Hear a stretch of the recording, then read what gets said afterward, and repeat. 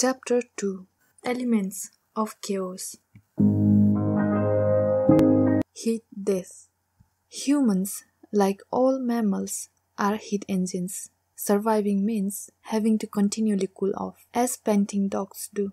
For that, the temperature needs to be low enough for the air to act as a kind of refrigerant, drawing heat off the skin so the engine can keep pumping.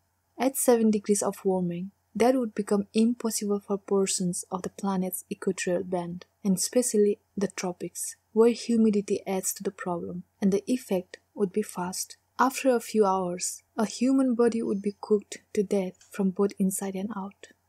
At 11 or 12 degrees Celsius of warming, more than half the world's population, as distributed today, would die of direct heat. Things almost certainly won't get that hot anytime soon, though some models of unabated emissions do bring us that far eventually, over centuries.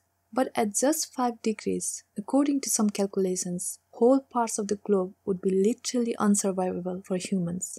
At 6, summer labor of any kind would be impossible in the lower Mississippi Valley, and everybody in the United States east of the Rockies would suffer more from heat than anyone anywhere in the world today. New York City would be hotter than present day Bahrain, one of the planet's hottest spots, and the temperature in Bahrain would induce hypothermia in even sleeping humans. 5 or 6 degrees is unlikely by 2100 the IPCC furnishes us with a median prediction of over 4 degrees, should we continue down the current emissions path. That would deliver what today seems like unthinkable impacts wildfires burning 16 times as much land in the American West, hundreds of drowned cities, cities now home to millions across India and the Middle East would become so hot that stepping outside in summer would be a lethal risk. In fact, they will become that way much sooner, with as little as 2 degrees of warming. You do not need to consider worst case scenarios to become alarmed. With direct heat, the key factor is something called wet bulb temperature, which also measures humidity in a combined method as home laboratory kit as it sounds. The temperature is registered on a thermometer wrapped in a damp sock as it's swung around in the air. At present, most regions reach a wet bulb temperature of 26 or 27 degrees Celsius. The true red line for habitability is 35 degrees, beyond which humans begin simply dying from the heat. That leaves a gap of 8 degrees. What is called heat stress comes much sooner. Actually, we are there already. Since 1980, the planet has experienced a 50 fold increase in the number of dangerous heat waves. A bigger increase is to come. The five warmest summers in Europe since 1500 have all occurred since 2002, and eventually the IPCC warns simply working outdoors at the time of year will be unhealthy for parts of the globe. Even if we meet the Paris goals, cities like Karachi and Kolkata will annually encounter deadly heat waves like those that crippled them in 2015 when heat killed thousands in India and Pakistan. At 4 degrees, the deadly European heatwave of 2003, which killed as many as 2000 people a day, will be a normal summer. Then it was one of the worst weather events in continental history, killing 35,000 Europeans, including 14,000 French. Perversely, the infirm fared relatively well. William Langewiesche has written most of them watched over in the nursing homes and hospitals of those well off countries, and it was the comparatively healthy elderly who accounted for most of the dead. Many left behind by vacationing families escaping the heat, with some corpses rotting for weeks before the families returned. It will get worse. In the business as usual scenario, a research team led by Ethan Coffel calculated in 2017 the number of days warmer than what were once the warmest days of the year could grow by a factor of 100 by 2080, possibly by a factor of 250. The metric Coffel uses is person days, a unit that combines the number of people affected with the number of days.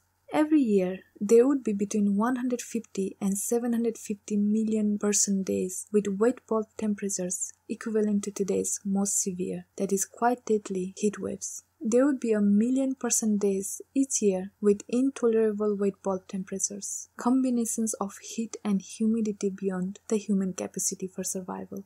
By the end of the century, the World Bank has estimated the coolest months in tropical South America, Africa, and Pacific are likely to be warmer than the warmest months at the end of the 20th century. We had heat waves back then, of course, deadly ones. In 1998, the Indian summer killed 2500. More recently, temperature spikes have gotten hotter. In 2010, 55,000 died in a Russian heat wave that killed 700 people in Moscow each day. In 2016, in the midst of a heat wave that baked the Middle East for several months, temperatures in Iraq broke 100 degrees Fahrenheit in May, 110 in June, and 120 in July, with temperatures dipping below 100 most days only at night. In 2018, the hottest temperature likely ever recorded in April was registered in southeast Pakistan. In India, a single day over 95 degrees Fahrenheit increases annual mortality rates by three quarters of a percent. In 2016, a string of days topped 120 in May. In Saudi Arabia, where summer temperatures often approach that mark, 700,000 barrels of oil are burned each day in the summer, mostly to power the nation's air conditioning. That can help with the heat, of course, but air conditioners and fans already account for fully 10% of global electricity consumption. Demand is expected to triple or perhaps quadruple by 2050, according to one estimate. The world will be adding 700 million AC units by just 2030. Another study suggests that by 2050 there will be around the world more than 9 billion cooling appliances of various kinds. But the climate controlled malls of the Arab Emirates aside, it is not remotely economical, let alone green, to wholesale air condition all the hottest part of the planet, many of them also the poorest. And indeed, the crisis will be most dramatic across the Middle East and Persian Gulf, where in 2015 the heat index registered temperatures as high as 163 degrees Fahrenheit. As soon as several decades from now, the Hajj will become physically impossible for many of the 2 million Muslims who currently make the pilgrimage each year. It is not just the Hajj, and it is not just Mecca. In the sugarcane region of El Salvador, as much as one fifth of the population, including over a quarter of the men, has chronic kidney disease, the presumed result of dehydration from working the fields they were able to comfortably harvest as recently as two decades ago. With dialysis, which is expensive, those with kidney failure can expect to live 5 years. Without it, life expectancy is measured in weeks. Of course, heat stress promises to assail us in places other than our kidneys too. As I type that sentence, in the California desert in mid June, it is 121 degrees outside my door. It is not a record high. This is among the things cosmologists mean when they talk about the utter improbability of anything as advanced as human intelligence evolving anywhere in a universe as inhospitable to life as this one. Every uninhabitable planet out there is a reminder of just how unique a set of circumstances is required to produce a climate equilibrium supportive of life. No intelligent life that we know of ever evolved anywhere in the universe outside of the narrow Goldilocks range of temperatures that enclosed all of human evolution and that we have now left behind, probably permanently. How much hotter will it get? The question may sound scientific, inviting expertise, but the answer is almost entirely human, which is to say, political. The menace of climate change is a mercurial one. Uncertainty makes it a shape shifting threat. When will the planet warm by 2 degrees? And when by 3? How much sea level rise will be there by 2030, by 2050, and by 2100? As our children are leaving the earth to their children and grandchildren, which cities will flood? Which forests will dry out? Which breadbaskets will become husk? That uncertainty is among the most momentous meta narratives that climate change will bring to our culture over the next decades. An eerie lack of clarity about what the world we live in will even look like just a decade or two down the road when we will still be living in the same homes and paying the same mortgages, watching the same television shows, and making appeals to many of the same justices of the Supreme Court. But while there are few things science does not know about how the climate system will respond to all the carbon we have pumped into the air, the uncertainty of what will happen, that haunting uncertainty, emerges not from scientific ignorance, but overwhelmingly from the open question of how we respond.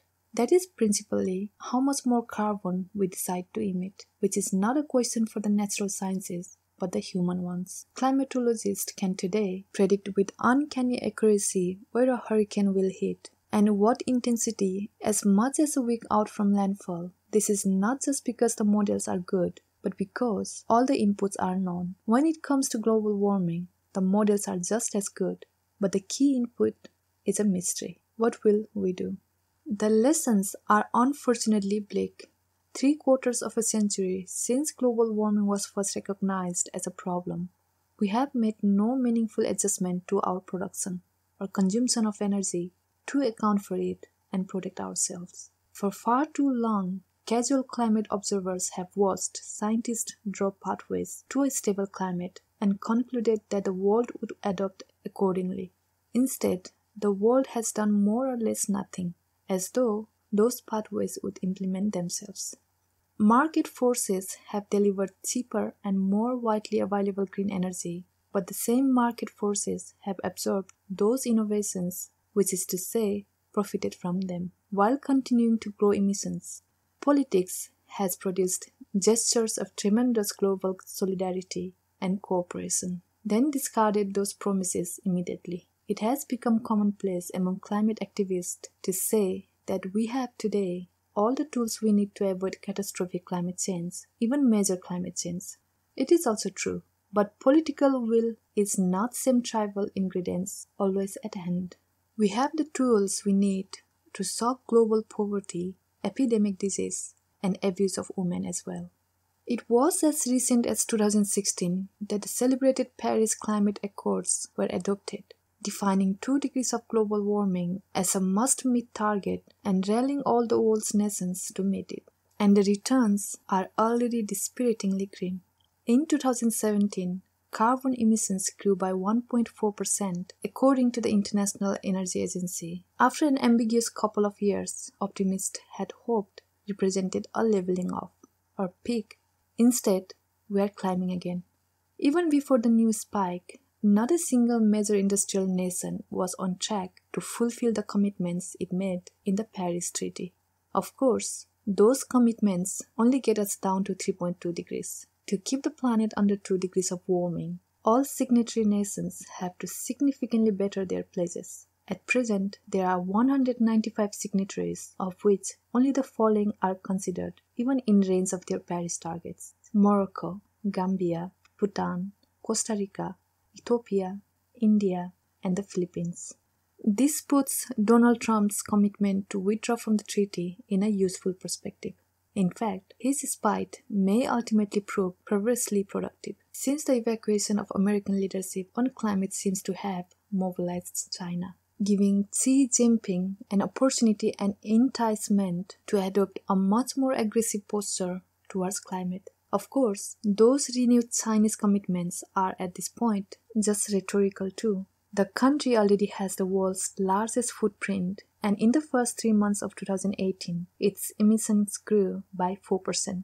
China commands half of the planet's coal power capacity, with plants that only operate on average half of the time, which means their use could quickly grow. Globally, coal power has nearly doubled since 2000. According to one analysis, if the world as a whole followed the Chinese example, it would bring 5 degrees of warming by 2100. In 2018, the United Nations predicted that at the current emissions rate, the world would pass 1.5 degrees by 2040, if not sooner. According to the 2017 National Climate Assessment, even if global carbon concentration was immediately stabilized, we should expect more than half a degree Celsius of additional warming to come, which is why staying below 2 degrees probably requires not just carbon scale back, but what are called negative emissions. These tools come in two forms technologies that would suck carbon out of the air, called CCS for carbon capture and storage, and new approaches to forestry and agriculture that would do the same in a slightly more old fashioned way that is, bioenergy with carbon capture and storage, or BECCS. According to a raft of recent papers, both are something close to fantasy, at least at present. In 2018, the European Academy's Science Advisory Council found that existing negative emissions technologies have limited realistic potential to even slow the increase in concentration of carbon in the atmosphere, let alone meaningfully reduce the concentration. In 2018, Nature dismissed all scenarios built on CCS as magical thinking. It is not even so pleasant to engage in that thinking. There is not much carbon in the air, all told just 410 parts per million, but it is everywhere, and so relying on carbon capture globally could require large scale scrubbing plantations nearly everywhere on Earth. The planet transformed into something like an air recycling plant orbiting the sun, an industrial satellite tracing a parabola through the solar system. This is not what Barbara Ward or Buckminster Fuller meant by spaceship Earth, and while advances are sure to come, bringing costs down and making more efficient machines, we can't wait much longer for that progress. We simply don't have the time. One estimate suggests that to have hope of 2 degrees, we need to open fully scale carbon capture plants at the pace of one and a half per day, every day for the next 70 years. In 2018, the world has 18 of them in total. This is not good, but indifference is unfortunately nothing new when it comes to climate. Projecting future warming is a foolish game, given how many layers of uncertainty govern the outcome. But if a best case scenario is now somewhere between 2 and 2.5 degrees of warming by 2100, it seems that the likeliest outcome, the fattest part of the belly curve of probability, sits at about 3 degrees, or just a bit above. Probably, even that amount of warming would require significant negative emissions use, given that our use of carbon is still growing. And there is also some risk from scientific uncertainty. The possibility that we are underestimating the effects of those feedback loops in natural systems we only poorly understand. Conceivably, if those processes are triggered, we could hit 4 degrees of warming by 2100, even with a meaningful reduction in emissions over the coming decades. But the track record since Kyoto implies that human short sightedness makes it unproductive to offer predictions about what will happen when it comes to emissions and warming. Better to consider what could happen. The sky is literally the limit. Cities where the world will overwhelmingly live in the near future only magnify the problem of high temperature. Asphalt and concrete and everything else that makes a city dense, including human flesh, absorb ambient heat, essentially storing it for a time, like a slow release poison pill. This is especially problematic because in a heat wave, nightly reprieves are vital, allowing bodies to recover. When those reprieves are shorter and shallower, flesh simply continues to simmer. In fact, the concrete and asphalt of cities absorb so much heat during the day that when it is released at night, it can raise the local temperature as much as 22 degrees Fahrenheit, turning what could be bearably hot days into deadly ones. As in the Chicago heat wave of 1995, which killed 739 people, the direct heat effects compounded by broken public health infrastructure. That commonly cited figure only reflects immediate deaths of the many thousands more who visited hospitals during the heat wave. Almost half died within the year. Others merely suffered permanent brain damage. Scientists call this the heat island effect. Each city its own enclosed space and hotter the more crowded it is. Of course, the world is rapidly urbanizing, with the United Nations estimating that two thirds of the global population will live in cities by 2050. 2.5 billion new urbanites by that count. For a century or more, the city has seemed like a vision of the future to much of the world, which keeps inventing new scales of metropolis. Bigger than 5 million people, bigger than 10, bigger than 20. Climate change won't likely slow that pattern by much, but it will make the great migrations it reflects more perilous with many millions of the world's ambitious flooding into cities whose calendars are dotted with days of deadly heat, gathering in those new megalopolises like moths to a flame. In theory, climate change could even reverse those migrations, perhaps more totally than crime in many American cities in the last century, turning urban populations in certain parts of the world outward as the cities themselves become unbearable. In the heat, roads in cities will melt and train tracks will buckle. This is actually happening already, but the impacts will mushroom in the decades ahead. Currently, there are 354 major cities with average maximum summertime temperatures of 95 degrees Fahrenheit or higher. By 2050, that list could grow to 970, and the number of people living in those cities and exposed to that deadly heat could grow eightfold to 1.6 billion. In the United States alone, 70,000 workers have been seriously injured by heat since 1992, and by 2050, 255,000 are expected to die globally from direct heat effects. Already, as many as 1 billion are at risk for heat stress worldwide, and a third of the world's population is subject to deadly heat waves at least 20 days each year. By 2100, that third will grow to half, even if we manage to pull up short of 2 degrees. If we don't, the number could climb to three quarters.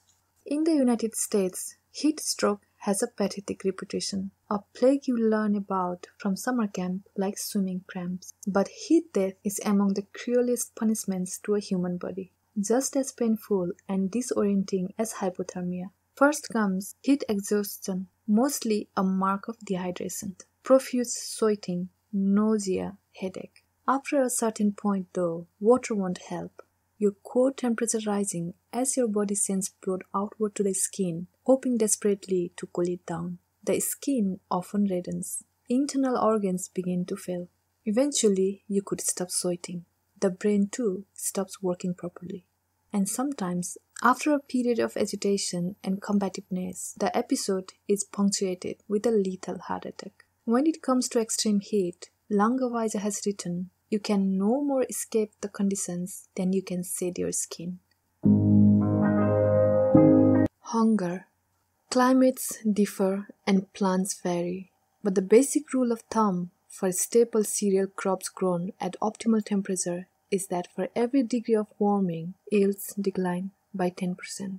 Some estimates run higher, which means that if the planet is 5 degrees warmer at the end of the century, when projections suggest we may have as many as 50% more people to feed. We may also have 50% less grain to give them, or even less, because yields actually decline faster the warmer things get, and proteins are worse. It takes 8 pounds of grain to produce just a single pound of hamburger meat, butchered from a cow that spent its life warming the planet with methane burps. Globally, grain accounts for about 40% of the human diet, when you add soybeans and corn, you get up to two thirds of all human calories. Overall, the United Nations estimates that the planet will need nearly twice as much food in 2050 as it does today. And although it is a speculative figure, it's not a bad one. Pollyannis plant physiologist will point out that the cereal crop math applies only to those regions already at peak growing temperature. And they are right. Theoretically, a warmer climate will make it easier to grow wheat in Greenland.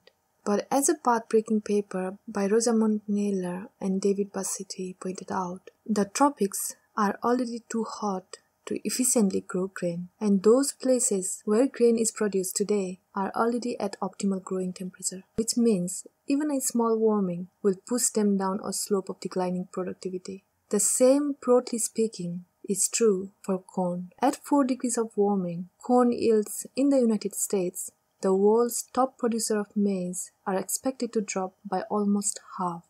Predicted declines are not quite as dramatic in the next three biggest producers China, Argentina, Brazil. But in each case, the country would lose at least a fifth of its productivity.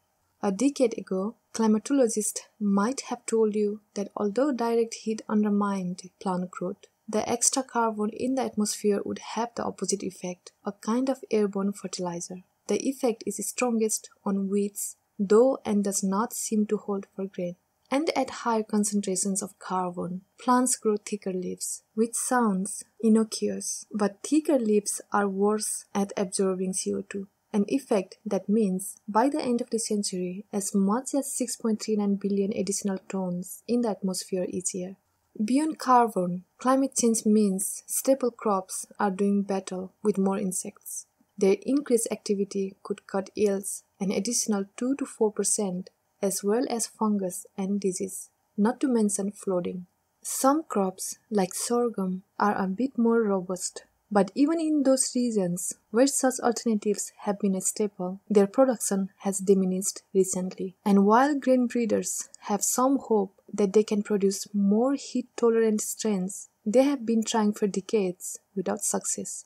The world's natural wheat belt is moving poleward by about 160 miles each decade, but you can't easily move croplands north a few hundred miles and not just because it's difficult to suddenly clear the land occupied now by towns, highways, office parks, and industrial installations. Yields in places like remote areas of Canada and Russia, even if they warmed by a few degrees, would be limited by the quality of soil there, since it takes many centuries for the planet to produce optimally fertile dirt. The lands that are fertile are the ones we're already using, and the climate is changing much too fast to wait for the northern soil to catch up. That soil, believe it or not, is literally disappearing. 75 billion tons of soil lost each year. In the United States, the rate of erosion is 10 times as high as the natural replenishment rate. In China and India, it is 30 to 40 times as fast. Even when we try to adapt, we move too slowly. Economist Richard Hornbeck specializes in the history of the American Dust Bowl. He says that farmers of that era could conceivably have adapted to the changing climate of their time by cultivating different crops, but they didn't, lacking credit to make the necessary investment, and were therefore unable to shake inertia and ritual and the rootedness of identity. So instead of crops died out in cascading waves crashing through whole American states and all the people living in them. As it happens, a similar transformation is unfolding in the American West right now. In 1879, the naturalist John Wesley Powell, who spent his downtime as a soldier during the Battle of Vicksburg studying the rocks that fill the Union trenches, divined a natural boundary running due north along the 100th meridian.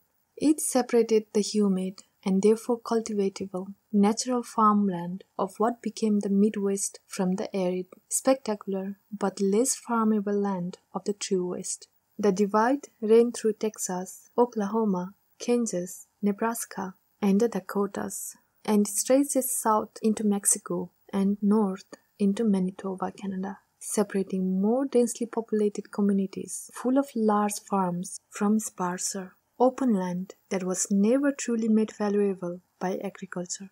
Since just 1980, that boundary has moved fully 140 miles east, almost to the 98th parallel, drying up hundreds of thousands of square miles of farmland in the process.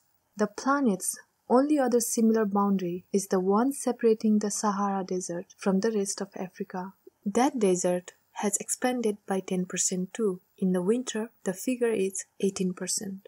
The privileged children of the industrialized West have long laughed at the predictions of Thomas Malthus, the British economist who believed that long-term economic growth was impossible, since its bumper crop or episode of growth would ultimately produce more children to consume or absorb it. And as a result, the size of any population, including that of the planet as a whole, was a check against material well-being.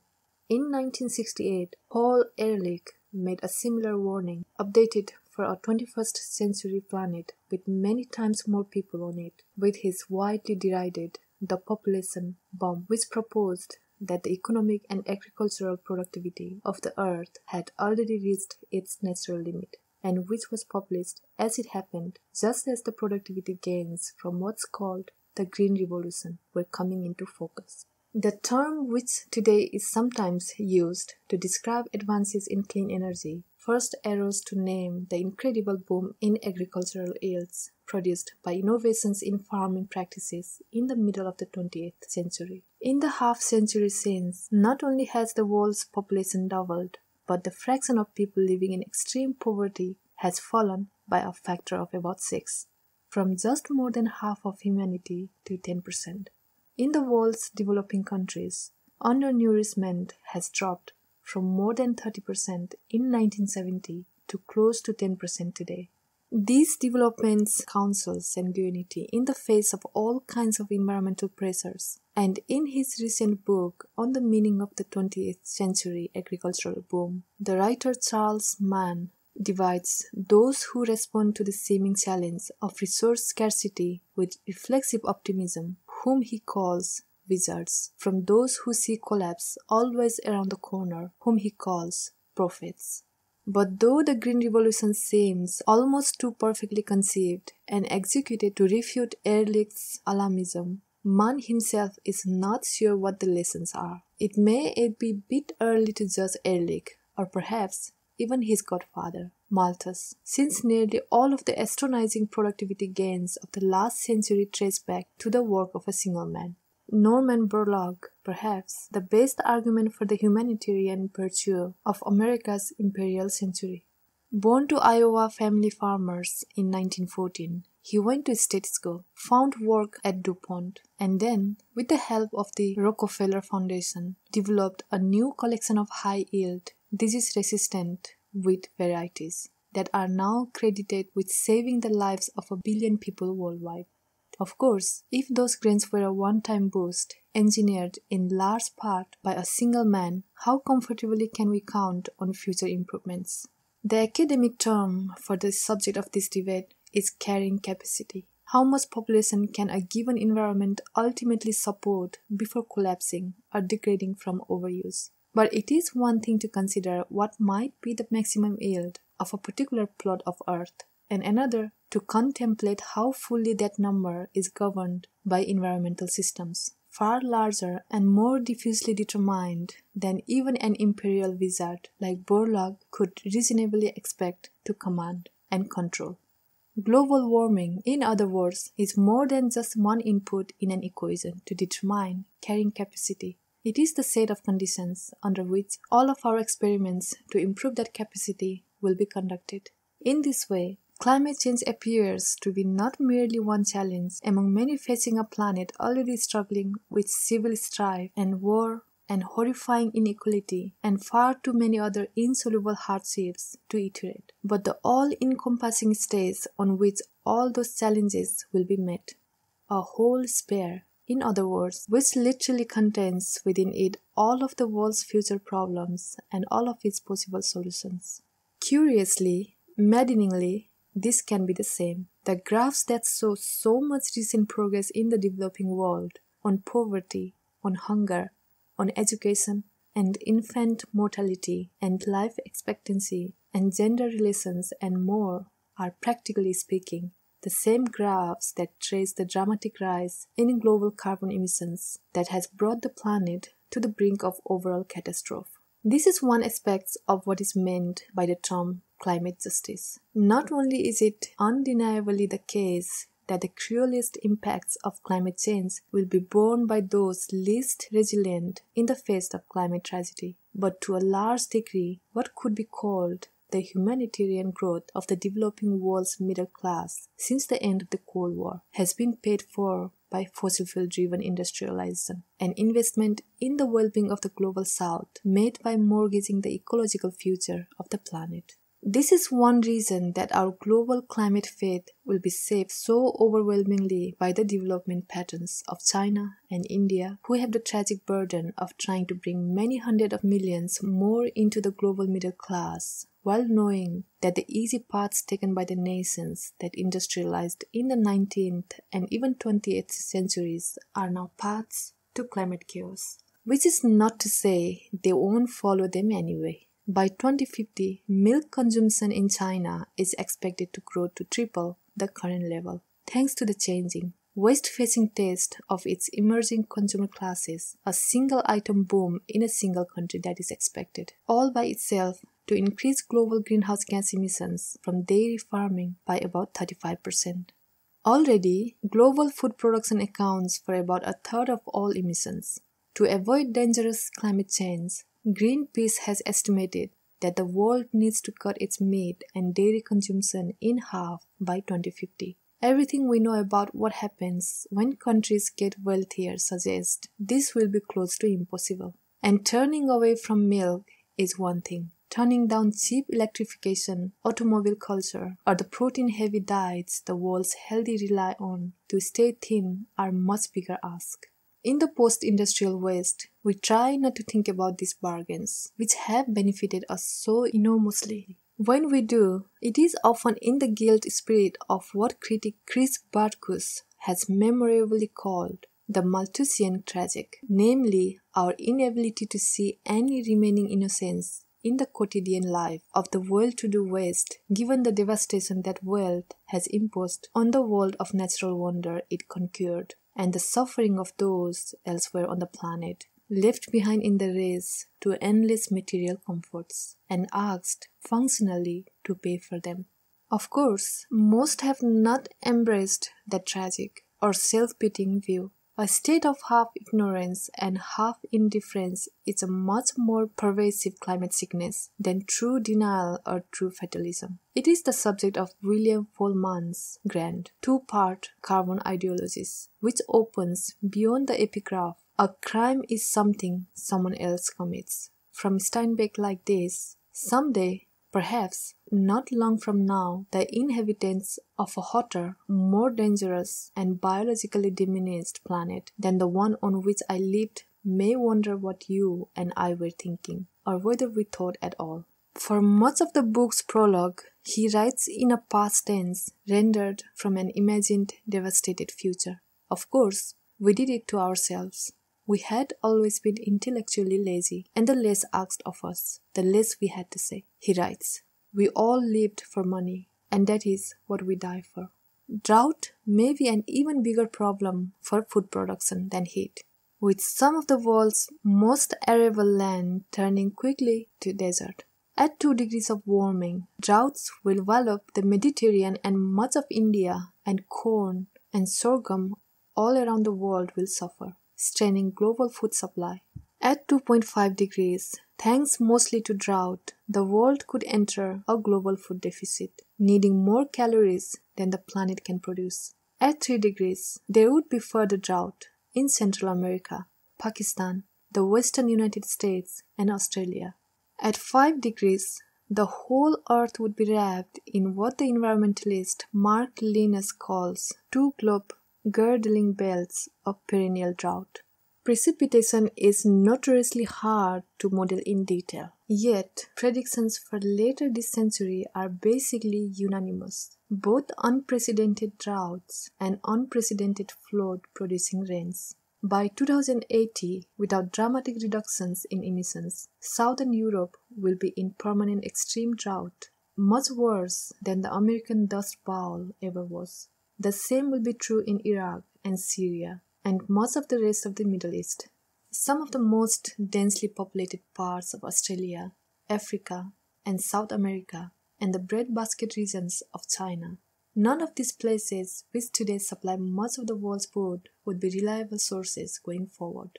As for the original Dust Bowl, the droughts in the American plains and Southwest would not just be worse than in the 1930s, a 2015 NASA study predicted, but worse than any drought in a thousand years, and that includes those that struck between 1100 and 1300, which dried up all the rivers east of the Sierra Nevada mountains and may have been responsible for the death of the Anasazi civilization.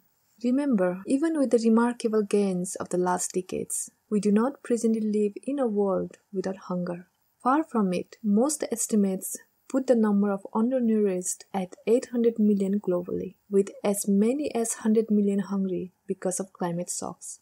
What is called hidden hunger, micronutrient, and dietary deficiencies is considerably high, affecting well over 1 billion people. The spring of 2017 brought an unprecedented quadruple famine to Africa and the Middle East. The United Nations warned that those separate starvation events in Somalia, South Sudan, Nigeria, and Yemen could kill 20 million that year. That was a single year in a single region. Africa is today straining to feed about 1 billion people, a population expected to quadruple over the course of the 21st century to 4 billion. One hopes these population booms will bring their own Borlaugs, ideally many of them, and already there are some hints of possible technological breakthroughs. China has invested in truly customized farming strategies to boost productivity and cut the use of greenhouse gas producing fertilizer. In Britain, a soil free startup announced its first harvest in 2018. In the United States, you already hear about the prospects for vertical farming, which saves farmland by stacking crops indoors, and lab grown protein which does the same by culturing meats inside test tubes. But these remain vanguard technologies, distributed unequally and being so expensive, unavailable for now to the many who are most in need. A decade ago, there was great optimism that GMO crops could produce another green revolution. But today, gene modification has been used mostly to make plants more resistant to pesticides pesticides manufactured and sold by the same companies engineering the crops. And cultural resistance has grown so rapidly that Whole Foods now advertises its house brand of seltzer as GMO free sparkling water. It is far from clear how much benefit even those able to take advantage of vanguard techniques will be able to reap. Over the past 15 years, the iconoclastic mathematicians Irakli Loladze has isolated a dramatic effect of carbon dioxide on human nutrition. Unanticipated by plant physiologists, it can make plants bigger, but those bigger plants are less nutritious. Every leaf and every grass blade on earth makes more and more sugars as CO2 levels keep rising. Loladze told Politico in a story about his work headlined The Great Nutrient Collapse. We are witnessing the greatest injection of carbohydrates into the biosphere in human history, an injection that dilutes other nutrients in our food supply. Since 1950, much of the food stuff in the plants we grow protein, calcium, iron, vitamin C, to name just four, has declined by as much as one third a landmark 2004 study showed. Everything is becoming more like junk food. Even the protein content of bee pollen has dropped by a third. The problem has gotten worse as carbon concentrations have gotten worse.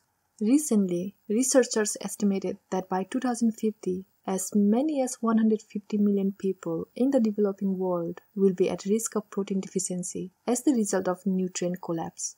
Since so many of the world's poor depend on crops rather than animal meat for protein, 138 million could suffer from a deficiency of zinc, essential to healthy pregnancies, and 1.4 billion could face a dramatic decline in dietary iron, pointing to a possible epidemic of anemia.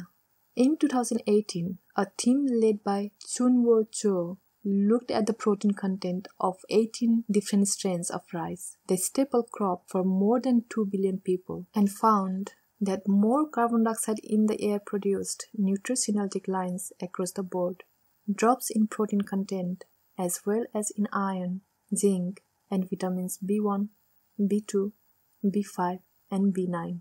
Really everything but vitamin E.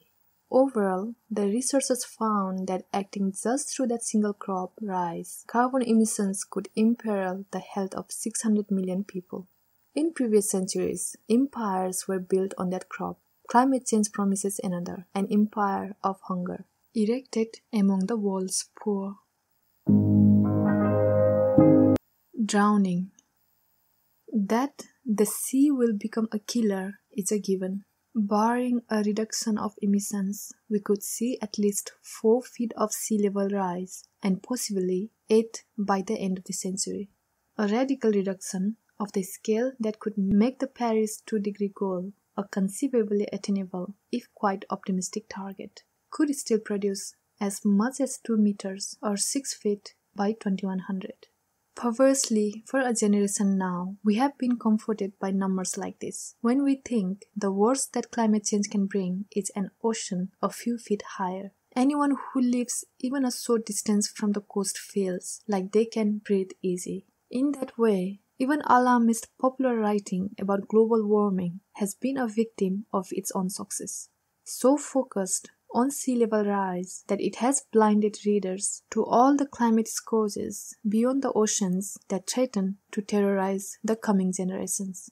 Direct heat, extreme weather, pandemic disease, and more. But as familiar as sea level rise may seem, it surely deserves its place at the center of the picture of what damage climate change will bring.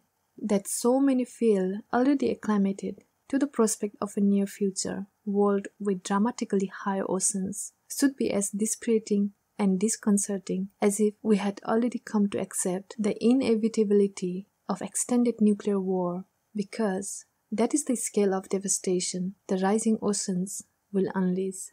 In The Water Will Come, Jeff Goodell runs through just a few of the monuments, indeed, in some cases, whole cultures that will be transformed into underwater relics. Like sunken ships this century, any beach you have ever visited, Facebook's headquarters, the Kennedy Space Center, and the United States' largest naval base in Norfolk, Virginia, the entire nations of the Maldives and the Marshall Islands, most of Bangladesh, including all of the mangrove forest that have been the kingdom of Bengal tigers for millennia, all of Miami Beach, and much of the South Florida paradise engineered out of Mars, and swamp and sandbar by rabid real estate spectaculars less than a century ago.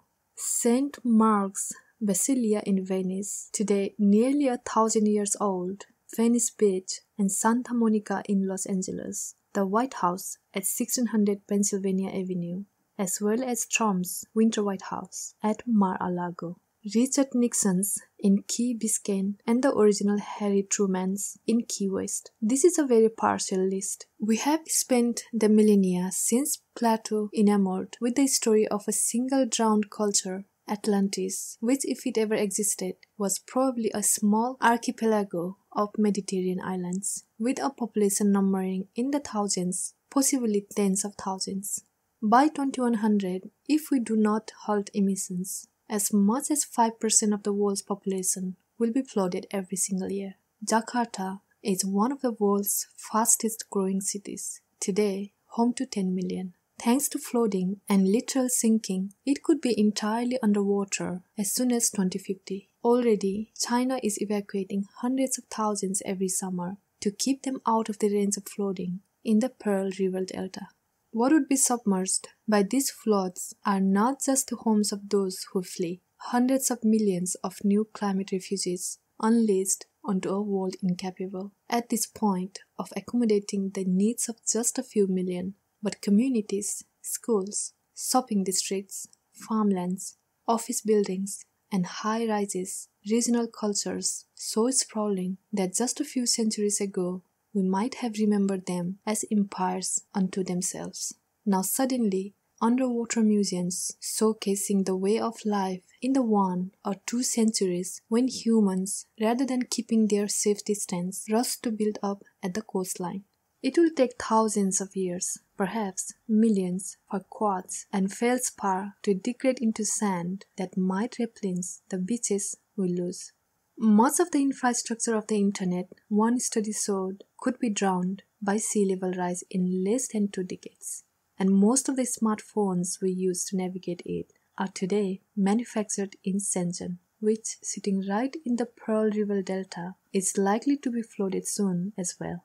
In 2018, the Union of Concerned Scientists found that nearly 311,000 homes in the United States would be at risk of chronic inundation by 2045, a time span, as they pointed out, no longer than a mortgage. By 2100, the number would be more than 2.4 million properties, or $1 trillion worth of American real estate underwater. Climate change may not only make the miles along the American coast uninsurable, it could render obsolete the very idea of disaster insurance by the end of the century, one recent study showed. Certain places could be struck by six different climate driven disasters simultaneously. If no significant action is taken to curb emissions, One estimate of global damages is as high as $100 trillion per year by 2100. That is more than global GDP today. Most estimates are a bit lower, $14 trillion a year, still almost a fifth of present day GDP. But the flooding would not stop at the end of the century, since sea level rise would continue for millennia ultimately producing, in even that optimistic 2 degree scenario, oceans 6 meters higher. What would that look like? The planet would lose about 444,000 square miles of land, where about 375 million people live today, a quarter of them in China. In fact, the 20 cities most affected by such sea level rise are all Asian megalopolis, among them Shanghai, Hong Kong, Mumbai, and Kolkata does cast a climate shroud over the prospect, now so much taken for granted among the Nostradamuses of geopolitics of an Asian century. Whatever the course of climate change, China will surely continue its ascent, but it will do so while fighting back the ocean. As well, perhaps one reason it is already so focused on establishing control over the South China Sea. Nearly two thirds of the world's major cities are on the coast, not to mention its power plants, ports, navy bases, farmlands, fisheries, river deltas, marshlands, and rice paddies. And even those above 10 feet will float much more easily and much more regularly if the water gets that high. Already, flooding has quadrupled since 1980, according to the European Academy's Science Advisory Council, and doubled since just 2004. Even under an intermediate low sea level rise scenario, by 2100, high tide flooding could hit the east coast of the United States every other day. We haven't even gotten to inland flooding when rivers run over, swollen by deluges of rain or storm surges channeled downstream from the sea. Between 1995 and 2015, this affected 2.3 billion and killed 157,000 around the world. Under even the most radically aggressive global emissions reduction regime, the further warming of the planet from just the carbon we have already pumped into the atmosphere would increase global rainfall to such a degree that the number affected by river flooding in South America would double, according to one paper from 6 million to 12 million. In Africa, it would grow from 24 to 35 million, and in Asia, from 70 to 156 million. All told, at just 1.5 degrees Celsius of warming, food damage would increase by between 160 and 240 percent. At 2 degrees, the death toll from flooding would be 50 percent higher than today. In the United States, one recent model suggested that FEMA's recent projections of flood risk were off by a factor of 3, and that more than 40 million Americans were at the risk of catastrophic inundation. These effects will come to pass even with a radical reduction of emissions. Keep in mind, Without flood adaptation measures, large swathes of northern Europe and the whole eastern half of the United States will be affected by at least 10 times as many floods. In large parts of India, Bangladesh, and Southeast Asia, where flooding is today catastrophically common, the multiplier could be just as high, and the baseline is already so elevated that it annually produces humanitarian crises on a scale we like to think we would not forget for generations. Instead, we forget them immediately. In 2017, floods in South Asia killed 1,200 people, leaving two thirds of Bangladesh underwater. Antonio Guterres, the Secretary General of the United Nations, estimated that 41 million people had been affected. As with so much climate change data, those numbers can numb, but 41 million is as much as 8 times the entire global population at the time of the Black Sea deluge 7,600 years ago, reputedly so dramatic and catastrophic a flood that it may have given rise to our Noah's Ark story. At the same time as the floods hit in 2017, almost 700,000 Rohingya refugees from Myanmar arrived in Bangladesh, most of them in a single settlement site that became more populous than Lyon, France's third biggest city, and was erected in the path of landslides just as the next monsoon season arrived. To what degree we will be able to adapt to new coastlines is primarily a matter of just how fast the water rises. Our understanding of that timeline has been evolving disconcertingly fast. When the Paris Agreement was drafted, those writing it were sure that the Antarctic ice sheets, even as the planet warmed several degrees. Their expectation was that oceans could rise at most only 3 feet by the end of the century. That was just in 2015. The same year, NASA found that this expectation was hopelessly complacent, suggesting 3 feet was not a maximum but in fact a minimum. In 2017, the National Oceanic and Atmospheric Administration NOAA suggested 8 feet was possible, still, just in this century. On the East Coast, scientists have already introduced a new term, sunny day flooding, when high tide alone, aided by no additional rainstorm, inundates a town. In 2018, a major study found things accelerating faster still, with the melt rate of the Antarctic ice sheet tripling just in the past decade. From 1992 to 1997, the sheet lost, on average, 49 billion tons of ice each year. From 2012 to 2017, it was 219 billion. In 2016, climate scientist James Hansen has suggested sea level could rise several meters over 50 years if ice melt doubled every decade. The new paper, keep in mind, registers a tripling and in the space of just 5 years. Since the 1950s, the continent has lost 13,000 square miles from its ice shelf. Experts say its ultimate fate will probably be determined by what human action is taken in just the next decade. All climate change is governed by uncertainty, mostly the uncertainty of human action. What action will be taken and when to avert or forestall the dramatic transformation of life on the planet that will unfold in the absence of dramatic intervention. Each of our projections, from the most blase to the most extreme, comes wrapped in doubt, the result of so many estimates and so many assumptions that it would be foolish to take any of them, so to speak, to the blank. But sea level rise is different because, on top of the basic mystery of human response, it layers much more epistemological ignorance than governs any other aspect of climate change science, say perhaps the question of cloud formation. When water warms, it expands. This we know, but the breaking up of ice represents almost an entirely new physics, never before observed in human history, and therefore only poorly understood.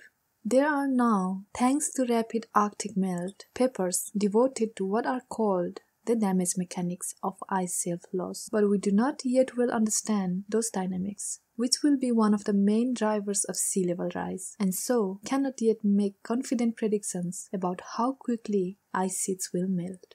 And even though we now have a decent picture of the planet's climatological past, never in the Earth's entire recorded history has there been warming at anything like this speed, by one estimate around 10 times faster than at any point in the last 66 million years. Every year, the average American emits enough carbon to melt 10,000 tons of ice in the Antarctic ice sheets, enough to add 10,000 cubic meters of water to the ocean. Every minute, each of us adds 5 gallons. One study suggests that the Greenland ice sheet could reach a tipping point at just 1.2 degrees of global warming. We are nearing that temperature level today, already at 1.1 degrees. Melting that ice sheet alone would, over centuries, raise sea levels 6 meters, eventually drowning Miami and Manhattan, and London and Shanghai and Bangkok and Mumbai. And while business as usual emissions trajectories warm the planet by just over 4 degrees by 2100, because temperature changes are unevenly distributed around the planet, they threaten to warm the Arctic by 13. In 2014, we learned that the West Antarctic and Greenland ice sheets were even more vulnerable to melting than scientists anticipated. In fact, the West Antarctic sheet had already passed a tipping point of collapse, more than doubling its rate of ice loss in just five years. The same had happened in Greenland, where the ice sheet is now losing almost a billion tons of ice every single day. The two sheets contain enough ice to raise global sea levels 10 to 20 feet each. In 2017, it was revealed that two glaciers in the East Antarctic sheet were also losing ice at an alarming rate. 18 billion tons of ice each year, enough to cover New Jersey in 3 feet of ice. If both glaciers go, scientists expect ultimately an additional 16 feet of water. In total, the two Antarctic ice sheets could raise sea level by 200 feet. In many parts of the world, the shoreline would move by many miles. The last time the Earth was 4 degrees warmer, as Peter Brannen has written, there was no ice at either pole and sea level was 260 feet higher. There were palm trees in the Arctic. Better not to think what that means for the life at the equator. As with all else in climate, the melting of the planet's ice will not occur in a vacuum, and scientists do not yet fully understand exactly what cascading effects such as collapses will trigger. One major concern is methane, particularly the methane that might be released by a melting Arctic, where permafrost contains up to 1.8 trillion tons of carbon, considerably more than is currently suspended in the Earth's atmosphere. When it thaws, some of it will evaporate as methane, which is depending on how you measure, at least several dozen times more powerful a greenhouse gas than carbon dioxide. When I first began seriously researching climate change, the risk from a sudden release of methane from the Arctic permafrost was considered quite low. In fact, so low that most scientists derided casual discussion of it as reckless fear mongering and deployed mockingly hyperbolic terms like Arctic methane time bomb and burps of death to describe what they saw as climate risk not much worth worrying about in the near terms. The news since has not been encouraging. One Nature paper found that the release of Arctic methane for permafrost lakes could be rapidly accelerated by bursts of what is called abrupt thawing already underway. Atmospheric methane levels have risen dramatically in recent years, confusing scientists unsure of their source. New research suggests the amount of gas being released by Arctic lakes could possibly double going forward. It's not clear whether this methane release is new or just that we finally begin to pay attention to it. But while the consensus is still that a rapid, sudden release of methane is unlikely, the new research is a case study in why it is worthwhile to consider and take seriously such unlikely but possibly climate risk. When you define anything outside a narrow band of likelihood as irresponsible to consider or talk about or plan for, even unspectacular new research findings can catch you flat footed. Today, all do agree that the permafrost is melting the permafrost line having retreated 80 miles north in Canada over the last 50 years.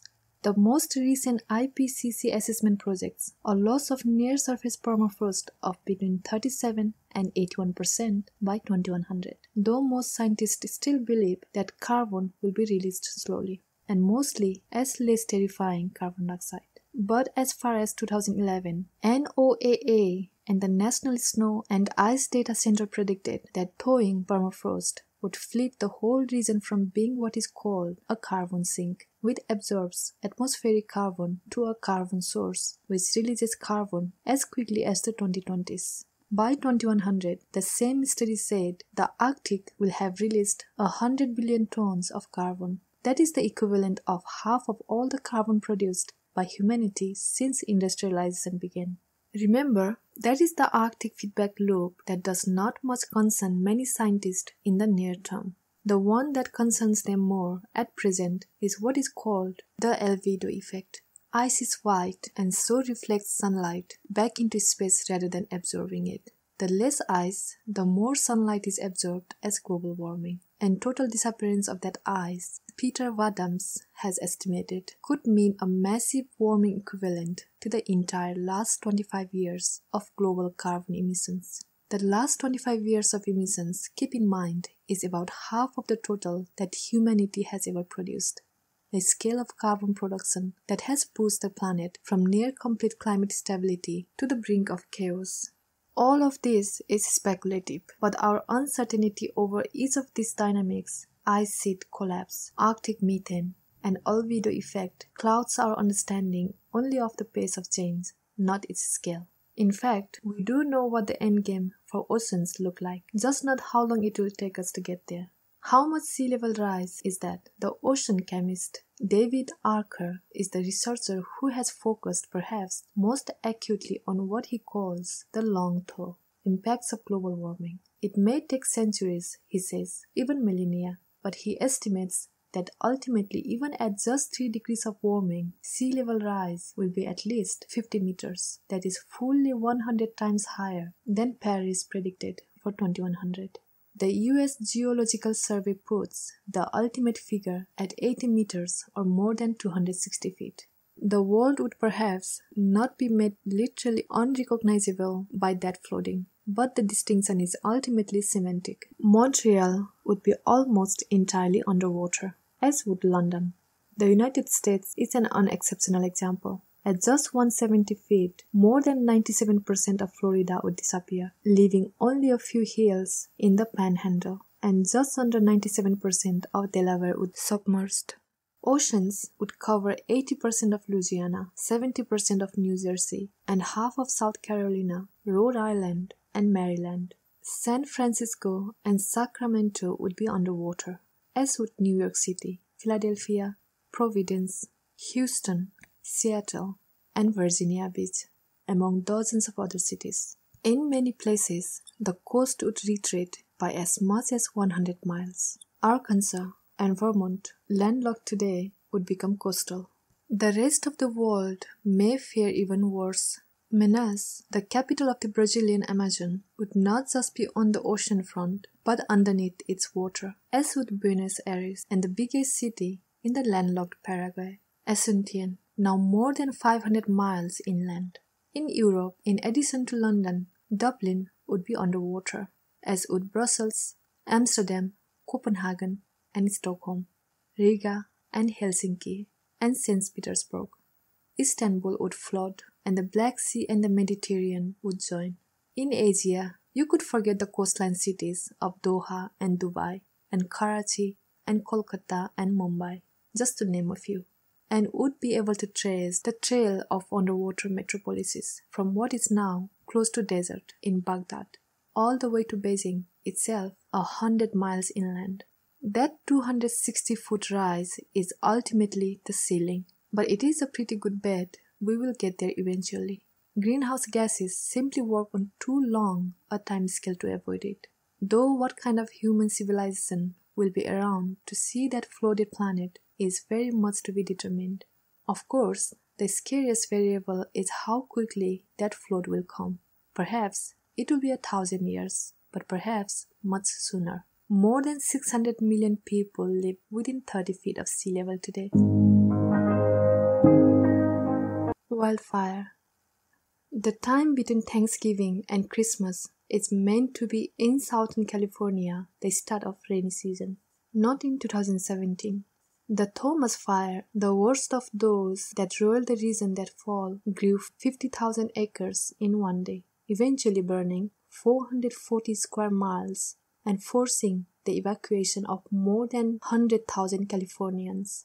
A week after it was sparked, it reminded, in the ominous semi-clinical language of wildfires, merely 15% contained. For a poetic approximation, it was not a bad estimate of how much of a handle we have on the forces of climate change that unleashed the Thomas Fire and the many other environmental calamities for which it was an apocalyptic harbinger. This is to say, hardly any.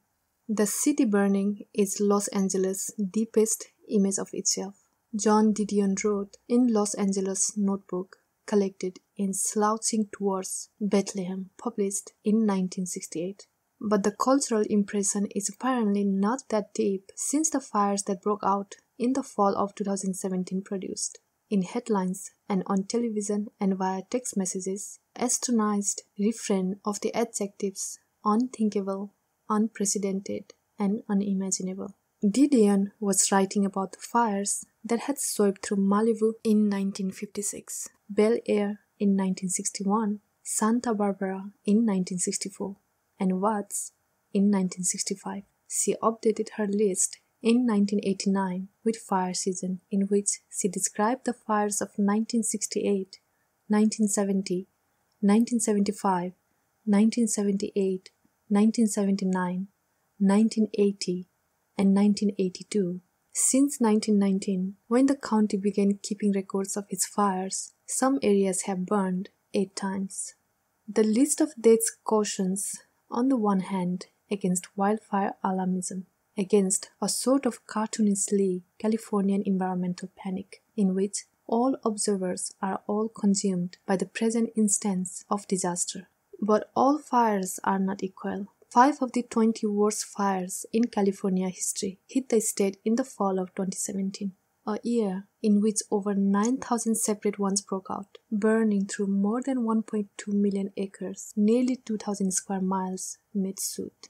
That October, in Northern California, 172 fires broke out in just two days. Devastation so cruel and sweeping that two different accounts were published in two different local newspapers of two different aging couples taking desperate cover in pools as the fires swallowed their homes. One couple survived, emerging after six excruciating hours to find their home transformed into an ash monument. In the other account, it was only the husband who emerged, his wife of 55 years having died in his arms. As Americans traded horror stories in the aftermath of those fires, they could be forgiven for mixing up the stories or being confused. That climate terror could be so general as to provide variation on such a theme had seemed, as recently as that September, impossible to believe. The following year offered another variation. In the summer of 2018, the fires were fewer in number, totaling only 6,000, but just one that made up a whole network of fires together called Mendocino Complex burned almost half a million acres alone. In total, more than 2,000 square miles in the state burned to flame, and smoke blanketed almost half the country. Things were worse to the north. In British Columbia, where more than 3 million acres burned, producing smoke that would, if followed the pattern of previous Canadian plumes, travel across the Atlantic to Europe. Then in November came the Woolsey fire, which forced the evacuation of 170,000, and the Camp Fire, which was somehow worse, burning through more than 200 square miles and incinerating an entire town so quickly that the evacuees, 50,000 of them, found themselves sprinting past exploding cars their sneakers melting to the asphalt as they ran. It was the deadliest fire in California history, a record that had been set almost a century before by the Griffith Park fire of 1933. If these wildfires were not unprecedented, in California at least, what did we mean when we called them that? Like September 11, which followed several decades of morbid American fantasies about the World Trade Center this new class of terror looked to a horrified public like a climate prophecy, made in fear, now made real. That prophecy was threefold. First, the simple intuition of climate horrors, and especially biblical premonition when the plague is out of control fire, like a dust storm of flame. Second, the expanding reach of wildfires in particular, which now can feel, in much of the West, only a gust of bad wind away. But perhaps the most harrowing of the ways in which the fires seem to confirm our cinematic nightmares was the third. That climate chaos could breach our most imperious fortresses, that is, our cities. With hurricanes Katrina, Sandy, Harvey, Irma, and Michael, Americans have gotten acquainted with the trade of flooding. But water is just the beginning. In the affluent cities of the West, even those conscious of environmental change have spent the last few decades walking our street grids and driving our highways, navigating our superabundant supermarkets and all everywhere internet, and believing that we had built our way out of nature. We have not. A paradise dreamscape erected in a barren desert. LA has always been an impossible city, as Mike Davis has so brilliantly written. The sight of flames straddling the 8 lane I 405 is a reminder that it is still impossible. In fact, getting more so. For a time, we have come to believe that civilization moved in the other direction, making the impossible first possible and then stable and routine. With climate change, we are moving instead toward nature and chaos into a new realm unbounded by the analogy of any human experience. Two big forces conspire to prevent us from normalizing fires like this, though neither is exactly a cause for celebration. The first is that extreme weather won't let us, since it won't stabilize, so that even within a decade, it's a fair bet that these fires, which now occupy the nightmares of every Californian, will be thought of as the old normal, the good old days. The second force is also contained in the story of the wildfires the way that climate change is finally striking close to home, some quite special homes.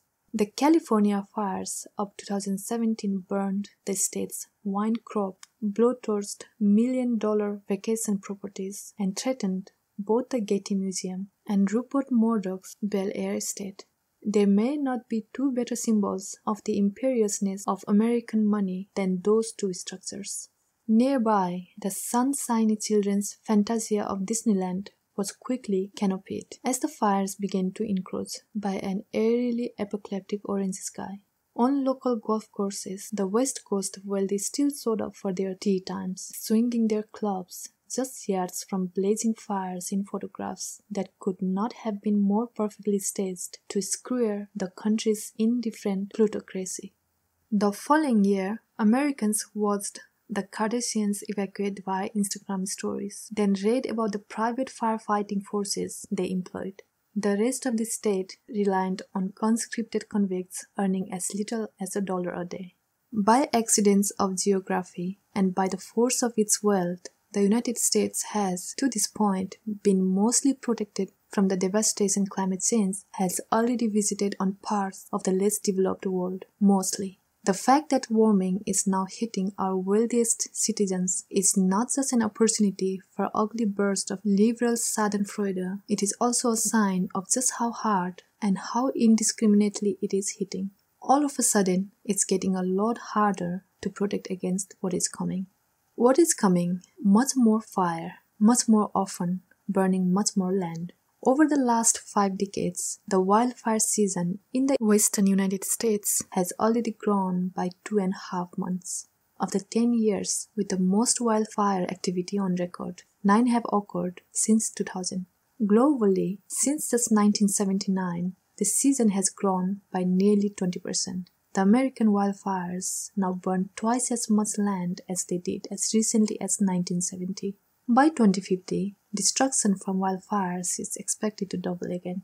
And in some places within the United States, the area burned could grow fivefold. For every additional degree of global warming, it could quadruple. What this means is that at 3 degrees of warming, our likely benchmark for the end of the century, the United States might be dealing with 16 times as much devastation from fire as we are today. When in a single year, 10 million acres were burned. At 4 degrees of warming, the fire season would be four times worse still. The California fire captain believes the term is already outdated. We don't even call it fire season anymore, he said in 2017. Take the season out, it's year round. But wildfires are not an American affliction, they are a global pandemic. In icy Greenland, fires in 2017 appeared to burn 10 times more area than in 2014. And in Sweden, in 2018, forests in the Arctic Circle went up in flames. Fires that far north may seem innocuous, relatively speaking, since there are not so many people up there. But they are increasingly more rapidly than fires in lower latitudes, and they concern climate scientists greatly. The soot and ash they give off can land on and blacken ice sheets, which then absorbs more of the sun's rays and melt more quickly. Another Arctic fire broke out on the Russia-Finland border in 2018, and smoke from Siberian fires that summer reached all the way to the mainland United States. That same month, the 21st century's second deadliest wildfire had swept through the Greek seaside, killing 95. At one resort, dozens of guests tried to escape the flames by descending a narrow stone staircase into the Aegean, only to be engulfed along the way, dying literally in each other's arms. The effects of these fires are not linear or neatly additive. it might be more accurate to say that they initiate a new set of biological cycles. Scientists warn that even as California is baked into brush by a drier future, making inevitable more and more damaging fires, the probability of unprecedented seeming rainfalls will grow to as much as a threefold increase of events like that which produced the state's Great Flood of 1862 and mudslides are among the clearest illustrations of what new horrors that heralds. In Santa Barbara that January, the town's low-lying homes were pounded by the mountain's detritus cascading down the hillside toward the ocean in an endless brown river. One father, in a panic, put his young children up on his kitchen's marble countertop, thinking it is the strongest feature of the house, then watched as a rolling boulder smashed through the bedroom where the children had been just moments before.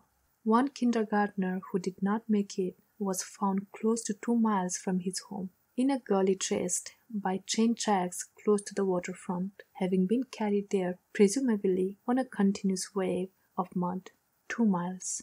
Each year, globally, between 260,000 and 600,000 people die from smoke from wildfires and Canadian fires have been linked to spikes in hospitalization as far away as the eastern seaboard of the United States.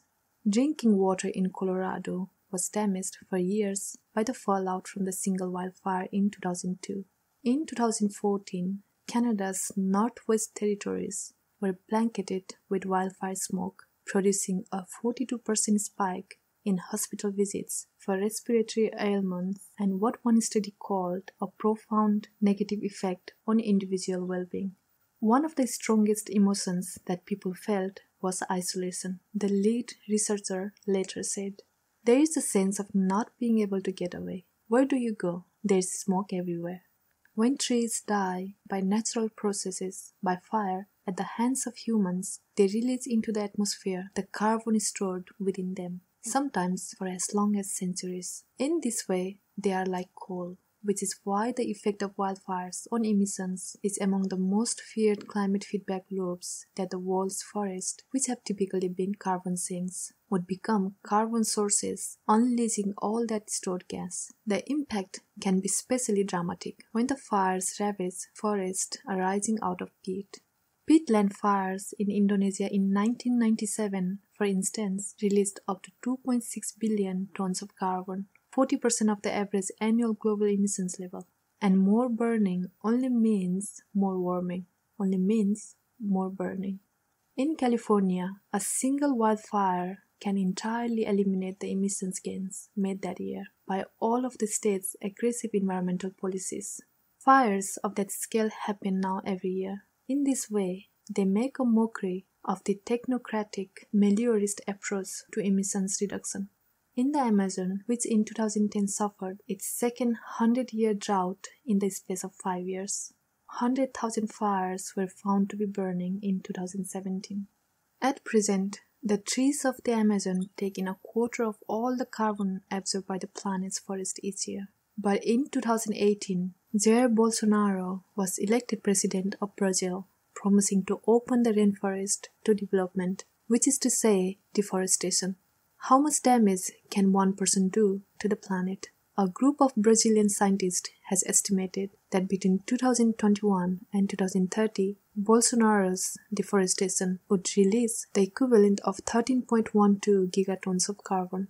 Last year, the United States estimated about 5 gigatons. This means that this one policy would have between 2 and 3 times the annual carbon impact of the entire American economy, with all of its airplane and automobiles and coal plants. The world's worst emitter by far is China. The country was responsible for 9.1 gigatons of emissions in 2017. This means Bolsonaro's policy is the equivalent of adding, if just for a year, a whole second China to the planet's fossil fuel problem. And on top of that, a whole second United States. Globally, deforestation accounts for about 12% of carbon emissions, and forest fires produce as much as 25%. The ability of forest soils to absorb methane has fallen by 77% in just three decades. And some of those studying the rate of tropical deforestation believe it could deliver an additional 1.5 degrees Celsius of global warming, even if fossil fuel emissions immediately ceased.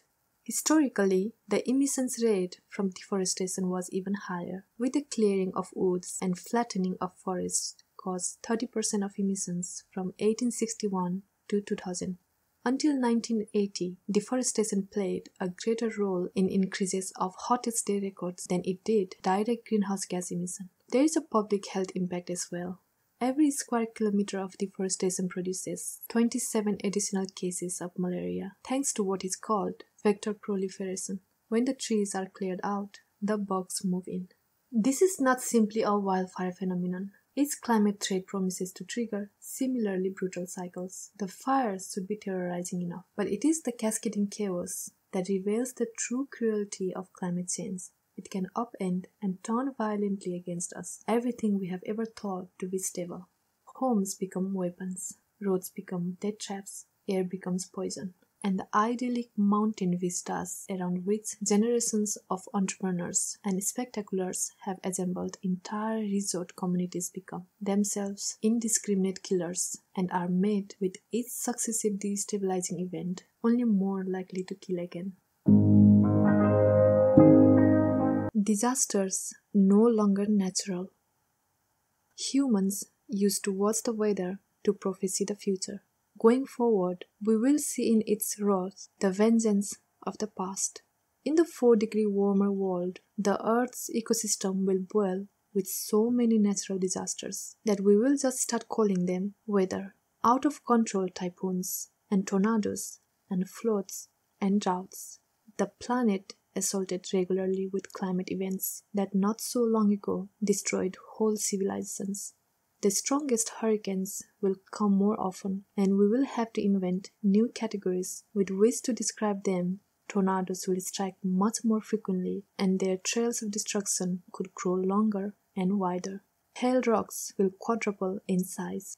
Early naturalists talked more about deep time, the perception they had complementing the grandeur of this valley or that rock basin, of the profound slowness of nature. But the perspective changes when history accelerates. What lies in store for us is more like what Aboriginal Australians, talking with Victorian anthropologists, called dreamtime, or everywhen, the semi mythical experience of encountering, in the present moment, an out of time past when ancestors, heroes, and demigods crowded an epic stage you can find it already by watching footage of an iceberg collapsing into the sea, a feeling of history happening all at once.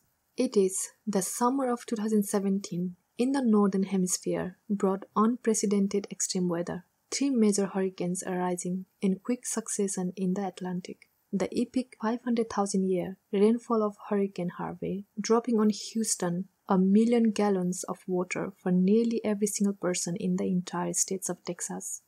The wildfire of California, 9,000 of them burning through more than a million acres, and those in icy Greenland, 10 times bigger than those in 2014. The floods of South Asia, clearing 45 million from their homes. Then the record breaking summer of 2018 made 2017 seem positively idyllic. It brought an unheard of global heat wave, with temperatures hitting 108 in Los Angeles, 122 in Pakistan, and 124 in Algeria. In the world's oceans, six hurricanes and tropical storms appeared on the radars at once, including one Typhoon Mangkhut that hit the Philippines and then Hong Kong, killing nearly a hundred and wreaking a billion dollars in damages, and another Hurricane Florence, which more than doubled the average annual rainfall in North Carolina, killing more than 50 and inflicting $17 billion worth of damage. There were wildfires in Sweden, all the way in the Arctic Circle, and across so much of the American West that half the continent was fighting through smoke, those fires ultimately burning close to 1.5 million acres. Parts of Yosemite National Park were closed, as were parts of Glacier National Park in Montana, where temperatures also topped 100. In 1850, the area had 150 glaciers. Today, all but 26 are melted. By 2040, the summer of 2018 will likely seem normal, but extreme weather is not a matter of normal. It is what roars back at us from the ever worsening fringe of climate events. This is among the scariest features of rapid climate change. Not that it changes the everyday experience of the world, though it does that, and dramatically, but that it makes once unthinkable outlier events much more common and ushers whole new categories of disaster into the realm of the possible. Already, storms have doubled since 1980, according to the European Academy's Science Advisory Council. And it is now estimated that New York City will suffer 500 year floods once every 25 years. But sea level rise is more dramatic elsewhere, which means that storm surges will be distributed unequally. In some places, storms on that scale will hit even more frequently. The result is radically accelerated experience of extreme weather, which was once centuries worth of natural disaster compressed into just a decade or two. In the case of Hawaii's East Island, which disappeared underground during a single hurricane into a day or two. The climate effects on extreme precipitation events, often called deluges or even rain bombs, are even clearer than those on hurricanes since the mechanism is about as straightforward as it gets. Warmer air can hold more moisture than cooler air. Already, there are 40% more intense rainstorms in the United States than in the middle of the last century. In the Northeast, the figure is 71%. The very heaviest downfalls are today three quarters heavier than they were in 1958. The island of Kauai in Hawaii is one of the wettest places on Earth and has in recent decades endured both tsunamis and hurricanes when a climate change driven rain event hit in April 2018. It literally broke the rain gauges, and the National Weather Service had to offer a best guess estimate 50 inches of water in 24 hours. When it comes to extreme weather, we are already living in unprecedented times. In America, the damages from quotidian thunderstorm, the unexceptional kind, have increased more than sevenfold since the 1980s. Power outages from storms have doubled just since 2003. When Hurricane Irma first emerged, it was with such intensity that some meteorologists proposed creating an entirely new category of hurricane for it, a Category 6 and then came Maria, rolling through the Caribbean and devastating a string of islands for the second time in a single week. Two storms of such intensity that the islands might be prepared to endure them once a generation, or perhaps even less often. In Puerto Rico, Maria wiped out power and running water for much of the island for months, flooding its agricultural lands so fully that one farmer predicted the island would not produce any food for the next year. In its aftermath, Maria also showed one of the uglier aspects of our climate blindness. Puerto Ricans are US citizens and live not far from the mainland on an island millions of Americans have visited personally. And yet, when climate disaster struck there, we processed their suffering, perhaps out of psychological self interest, as foreign and far away. Trump barely mentioned Puerto Rico in the week after Maria, and while that may not surprise, neither did the Sunday shows. By the weekend, the few days after the hurricane transfers the island, it was off the front page of the New York Times as well. When Trump's feud with the heroic mayor of San Juan and his problematic visit to the island, during which he tossed paper towels into a crowd without power or water like t-shirts at a Knicks game, made the hurricane a partisan issue. Americans did begin to focus on the destruction a bit more, but the attention paid remains trivial compared to the humanitarian toll. And when compared to the response to natural disasters that have recently hit the American mainland, we are getting some intimations of how the ruling class intends to handle the accumulating disasters of the Anthropocenes. As the cultural theorist McKenzie Wark of the New School wrote, we are on our own. And in the future, all that was once unprecedented becomes quickly routine.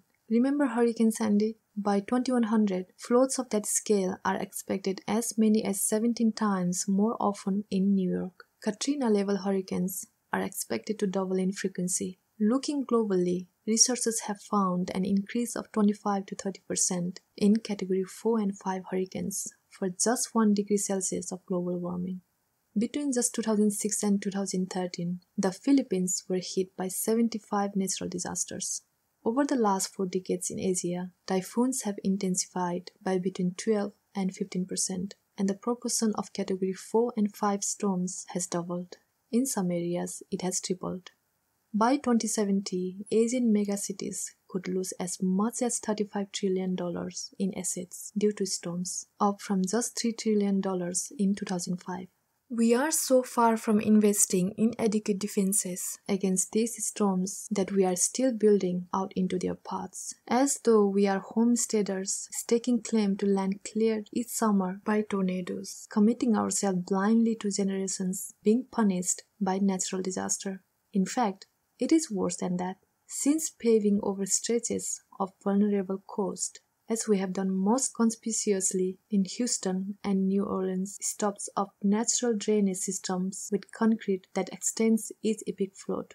We tell ourselves we are developing the land, in some cases, fabricating it from Mars. What we are really building are bridges to our own suffering, since it's not just those new concrete communities built right into the floodplain that are vulnerable but all those communities behind them, built on the expectation that the old swampy coastline could protect them, which does call into question just what we mean in the age of the Anthropocene by the phrase natural disaster. Dreamtime weather won't stop at the shore, but will blanket the life of every human living on the planet, no matter how far from the coast. The warmer the Arctic, the more intense the blizzards in the northern latitudes. That's what's given the American North Northeast 2010's Snowpocalypse, 2014's Snowmageddon, and 2016's Snowzilla. The inland effects of climate change are being felt in warmer seasons too. In April 2011, just one month, 758 tornadoes swept the American countryside. The previous April record had been 267, and the most for any previous month in recorded history was 542. The next month, there was another wave, including the tornado that killed 138 people in Joplin, Missouri. What's called America's Tornado Alley has moved 500 miles in just 30 years. And while technically scientists aren't sure that climate change increases tornado formation, the parts of destruction tornado live are getting longer and they are getting wider. They arise from thunderstorms, which are increasing the number of days on which they are possible growing as much as 40% by 2100, according to one assessment. The United States Geological Survey, not a notably alarmist corner of even the temperamentally conservative federal bureaucracy, recently war-gamed an extreme weather scenario they called ARkStorm. Winter storms strike California, producing flooding in the Central Valley, 300 miles long and 20 miles wide, and more destructive flooding in Los Angeles, Orange County, and the Bay Area up north, altogether forcing evacuation of more than a million Californians. Wind speeds reach hurricane levels of 125 miles per hour in parts of the state, and at least 60 miles per hour throughout much of it. Landslides cascade down from the Sierra Nevada mountains, and damage all told reaches $725 billion, nearly three times the estimate for a massive earthquakes in the state, the much feared big one. In the past, even the recent past, disasters like this arrived with otherworldly force and incomprehensible moral logic. We could see them coming on radar and by satellite but could not interpret them, not legibly, not in ways that really made sense of them in relation to one another. Even atheists and agnostics might find themselves whispering the phrase, act of God, in the aftermath of hurricane or wildfire or tornado, if only to express how inexplicable it felt to endure such suffering with no author behind it, no one to blame for it. Climate change will change this. Even as we settle into thinking of natural disasters as a regular feature of our weather, the scope of devastation and horror they bring will not diminish. There are cascade effects here too. Ahead of Hurricane Harvey, the state of Texas cut off Houston's air quality monitors, fearing they would be damaged. Immediately afterward, a cloud of unbearable smells began drifting out of the city's petrochemical plants. Ultimately, nearly half a billion gallons of industrial wastewater surged out of a single petrochemical plant into Galveston Bay.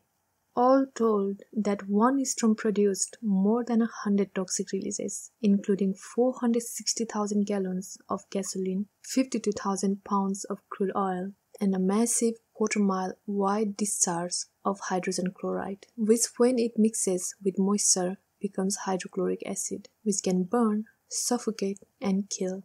Down the coast in New Orleans, the storm hit was less direct, but there the city had already been knocked offline without a full complement of drain pumps after an August 5 storm. When Katrina had hit New Orleans in 2005, it was not walloping a thriving city. The 2000 population of 480,000 had declined from a peak of over 600,000 in 1960. After the storm, it was as low as 230,000. Houston is a different case. One of the fastest growing cities in the country in 2017, Greater Houston even included the fastest growing suburb in the country that year. It has more than five times as many residents as New Orleans. It's a tragic irony that many of those new arrivals who moved into the path of this storm over the last decades were brought there by the oil business, which has worked tirelessly to undermine public understanding of climate change and derail global attempts at reducing carbon emissions.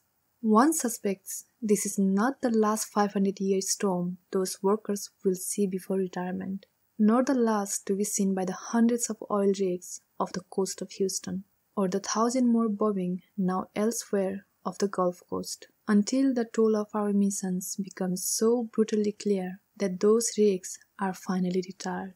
The phrase 500 year storm is also very helpful on the question of resilience. Even a devastated community, buckled in suffering, can endure a long period of recovery if it is wealthy and politically stable and needs to rebuild only once a century, perhaps even once every 50 years. But rebuilding for a decade in the wake of spectacular storms that hit once a decade or once every two decades is an entirely different matter. Even for countries as rich as the United States and regions as well off as Greater Houston. New Orleans is still reeling from Katrina, a dozen years on, with the lower Ninth Ward barely one third as populated as it was before the storm. And it surely doesn't help that the entire coastline of Louisiana is being swallowed by the sea, with 2,000 square miles already gone. The state loses a football field of land every single hour. In the Florida Keys, 150 miles of road need to be raised by stay ahead of sea level, costing as much as $7 million each mile, or up to 1 billion total. The country's 2008 road budget was $25 million. For the world's poor recovery from storms like Katrina and Irma and Harvey hitting more and more often, it's almost impossible. The best choice is often simply to leave. In the months after Hurricane Maria devastated Puerto Rico, thousands of inlanders arrived in Florida, thinking it might be for good. Of course, that land is disappearing too. Freshwater drain. 71% of the planet is covered in water. Barely more than 2% of that water is fresh and only 1% of that water, at most, is accessible, with the rest trapped mostly in glaciers. Which means, in essence, as National Geographic has calculated, only 0.007% of the planet's water is available to fuel and feed its 7 billion people. Think of fresh water shortages, and you probably feel an itch in your throat. But in fact, hydration is just a sliver of what we need water for. Globally, between 70 and 80% of fresh water is used for food production and agriculture, with an additional 10 to 20% set aside for industry. And the crisis is not principally driven by climate change.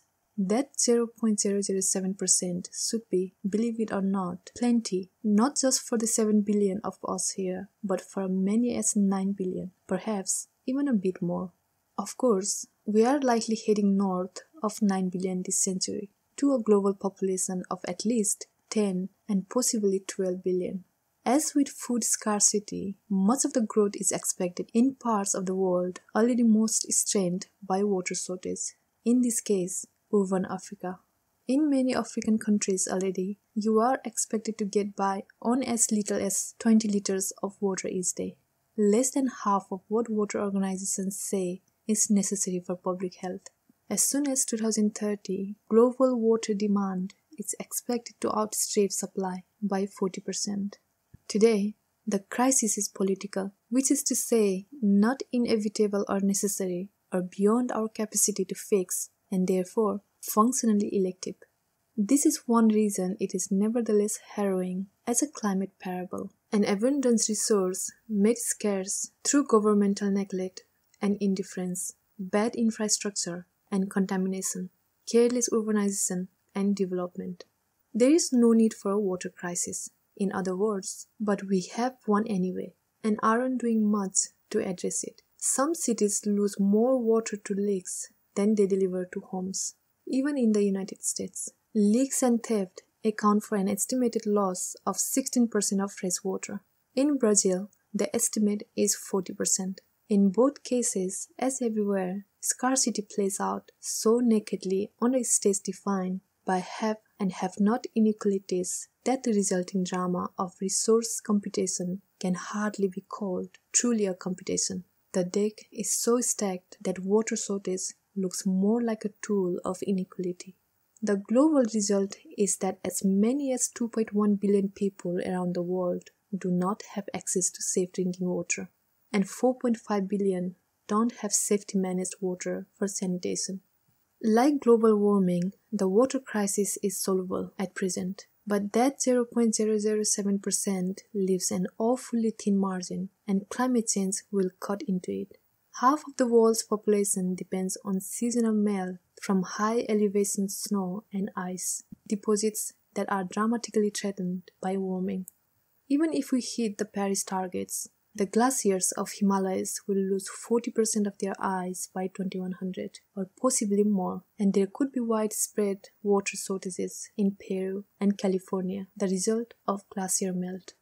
At 4 degrees, the snow capped Alps could look more like Morocco's Atlas Mountains, with 70% less snow by the end of the century. As soon as 2020, as many as 250 million Africans could face water shortages due to climate change, by the 2050s, the number could hit a billion people in Asia alone. By the same year, the World Bank found freshwater availability in cities around the world could decline by as much as two thirds. Overall, according to the United Nations, 5 billion people could have poor access to fresh water by 2050. The United States won't be spared. Boomtown Phoenix is, for instance, already in emergency planning mode which should not surprise, given that even London is beginning to worry over water shortages. But given the reassurances of wealth, which can buy stopgap solutions, an additional short term supply, the United States will not be the worst hit.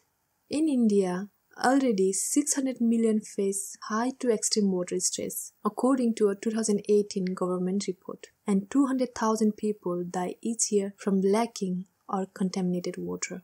By 2030, according to the same report, India will have only half the water it needs. In 1947, when the country was formed, per capita water availability in Pakistan stood at 5,000 cubic meters. Today, thanks mostly to population growth, it is at 1,000, and soon continued growth and climate change will bring it down to 400. In the last hundred years, many of the planet's largest lakes have begun drying up. From the Aral Sea in Central Asia, which was once the world's fourth largest and which has lost more than 90% of its volume in recent decades, to Lake Mead, which supplies much of Las Vegas water and has lost as much as 400 billion gallons in a single year. Lake Poopó, once Bolivia's second biggest, has completely disappeared. Iran's Lake Urmia has shrunk more than 80% in 30 years. Lake Chad has more or less evaporated entirely.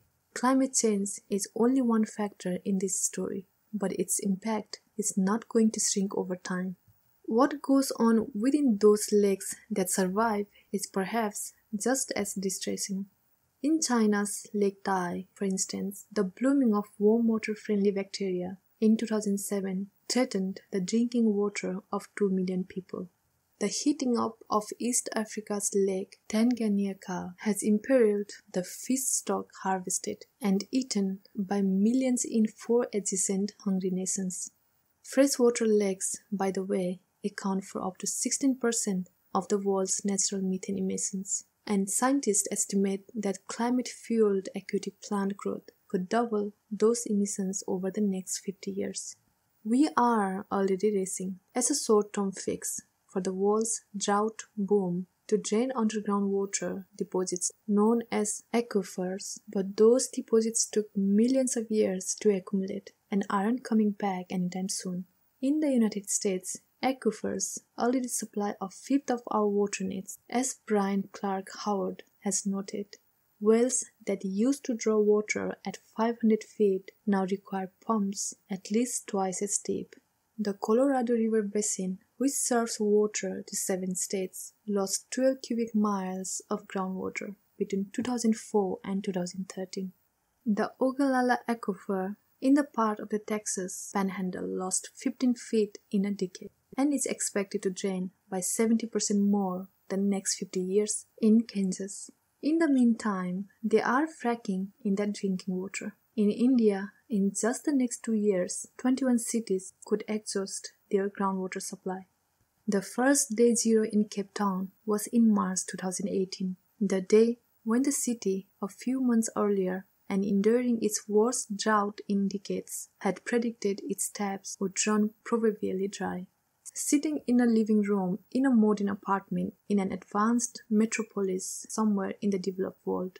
This trait may seem hard to credit. So many cities looking nowadays like fantasies of endless and on demand abundance for the world's wealthy. But of all urban entitlements, the casual expectation of never ending drinking water is perhaps the most deeply delusional.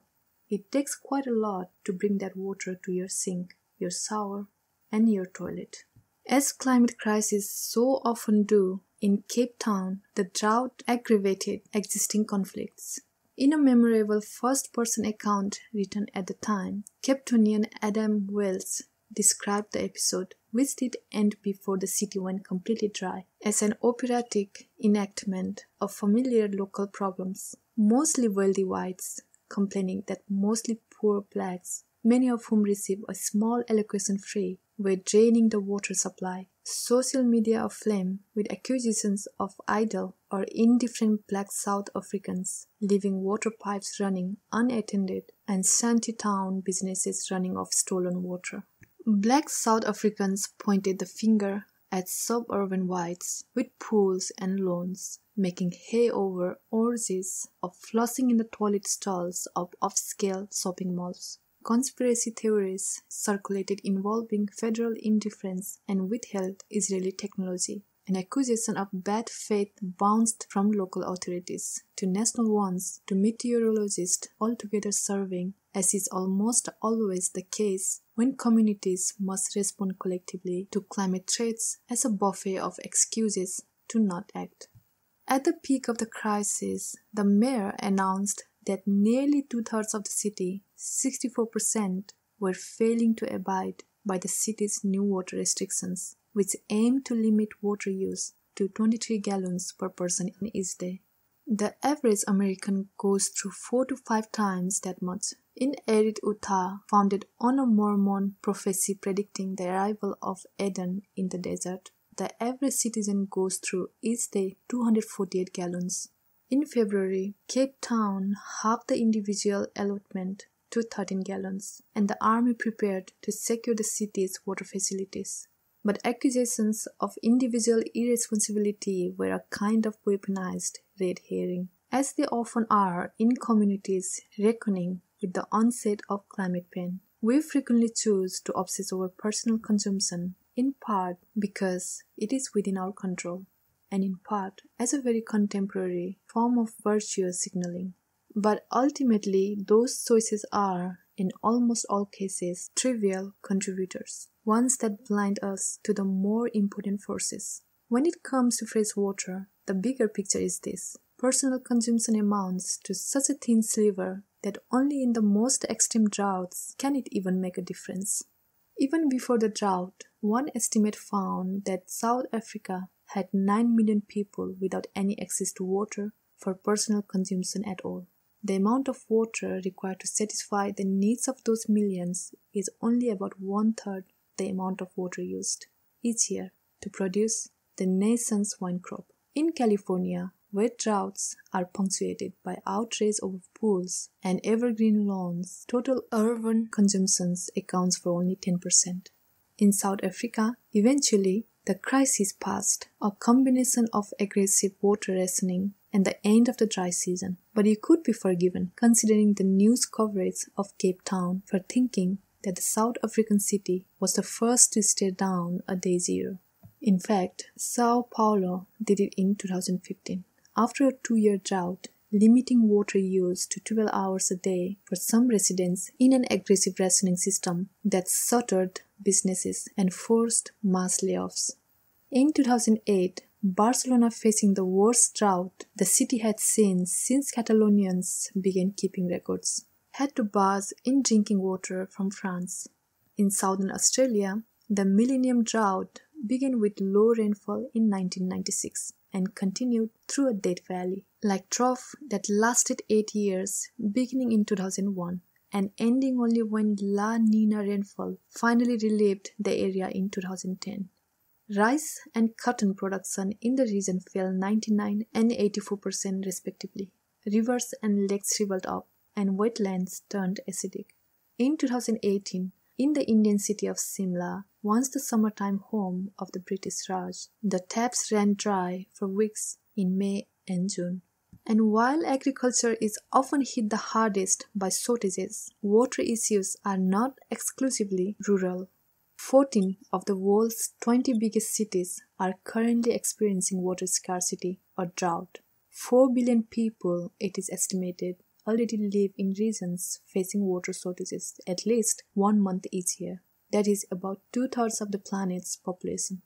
Half a billion are in places where the shortages never end. Today, at just one degree of warming, those regions with at least a month of water shortages each year include just about all of the United States west of Texas, where lakes and aquifers are being drained to meet demand and stretching up into western Canada and down to Mexico City, almost all of northern Africa and the Middle East, a large chunk of India, almost of Australia, significant part of Argentina and Chile, and everything in Africa south of Zambia. As long as it has had advocates, climate change has been sold under a saltwater banner melting Arctic, rising seas, shrinking coastlines.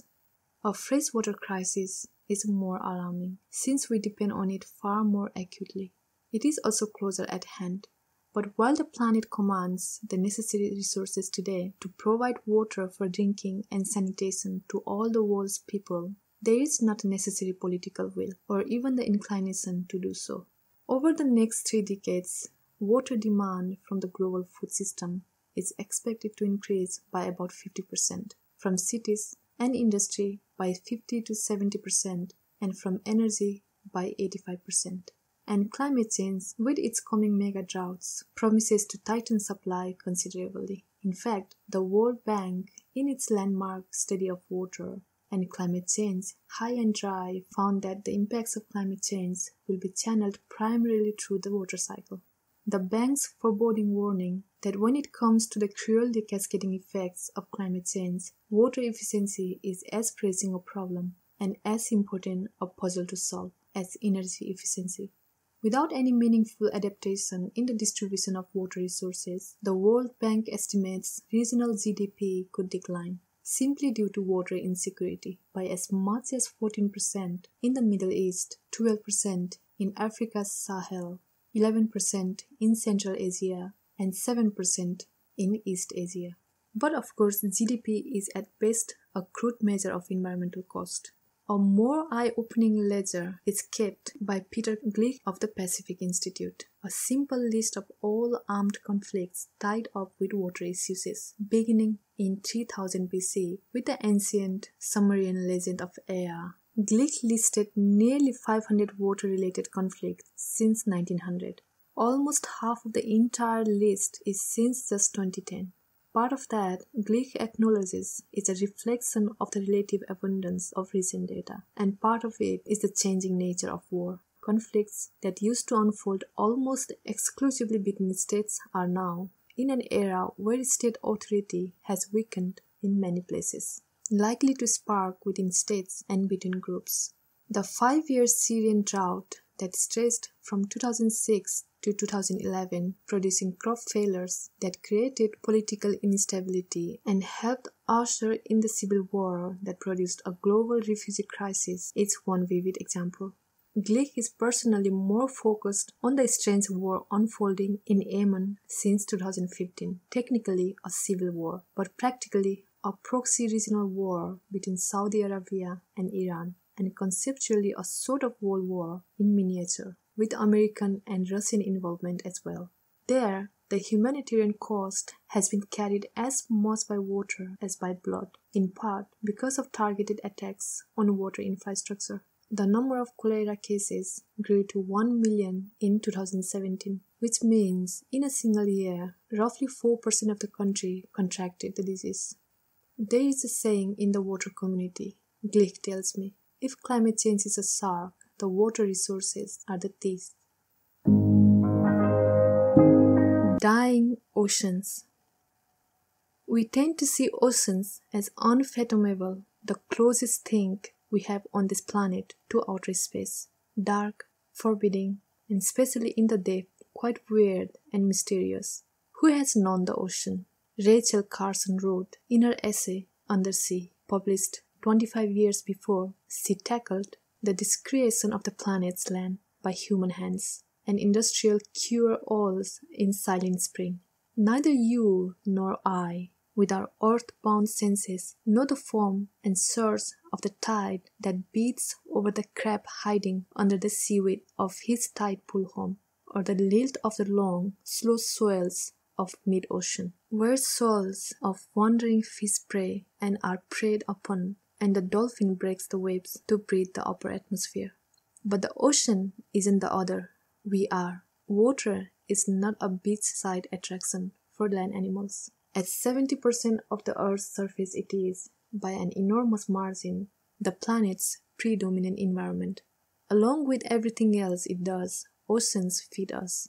Globally, seafood accounts for nearly a fifth of all animal protein in the human diet and in coastal areas, it can provide much more.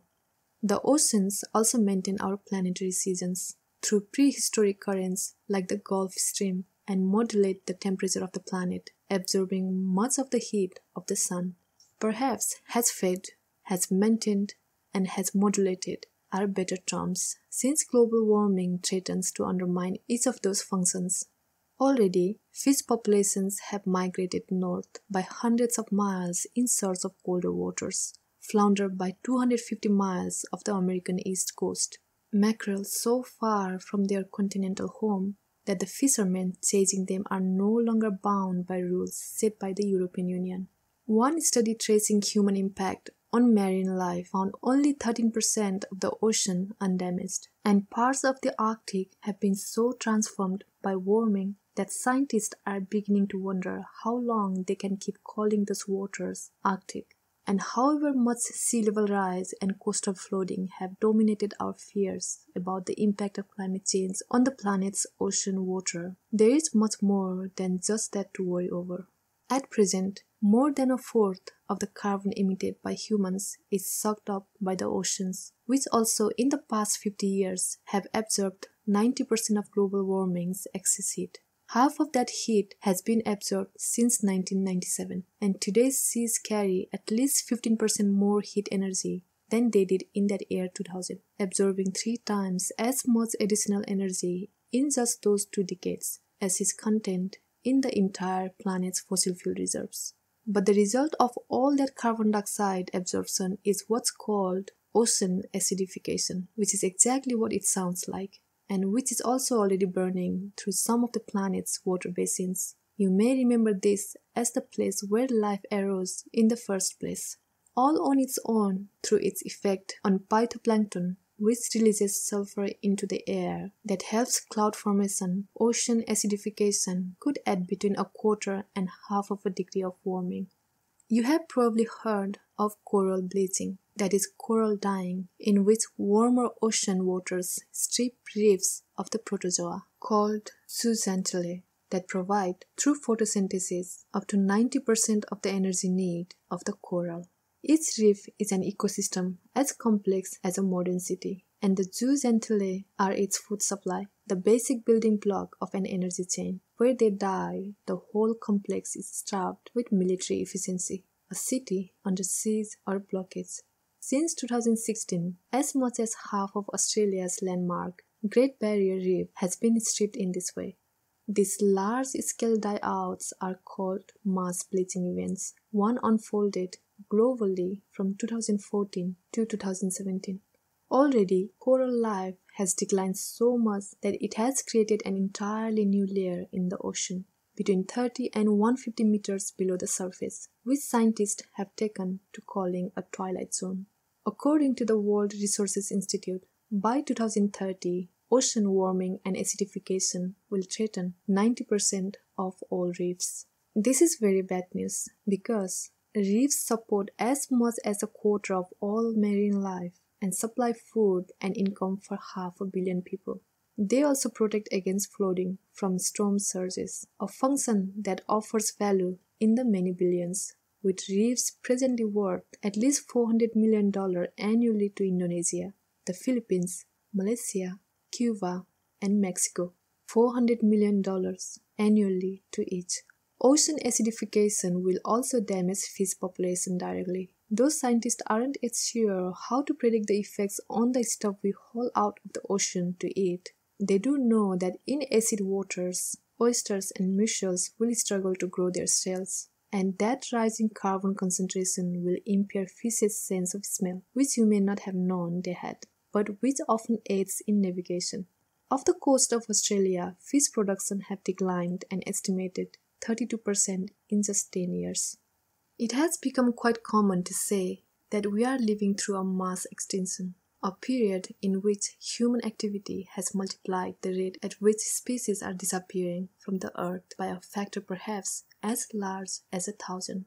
It is probably also fair to call this an era marked by what is called ocean anoxification. Over the past 50 years, the amount of ocean water with no oxygen at all has quadrupled globally, giving us a total of more than 400 dead zones. Oxygen deprived zones have grown by several million square kilometers, roughly the size of all of Europe, and hundreds of coastal cities now sit on fetid, under oxygenated ocean.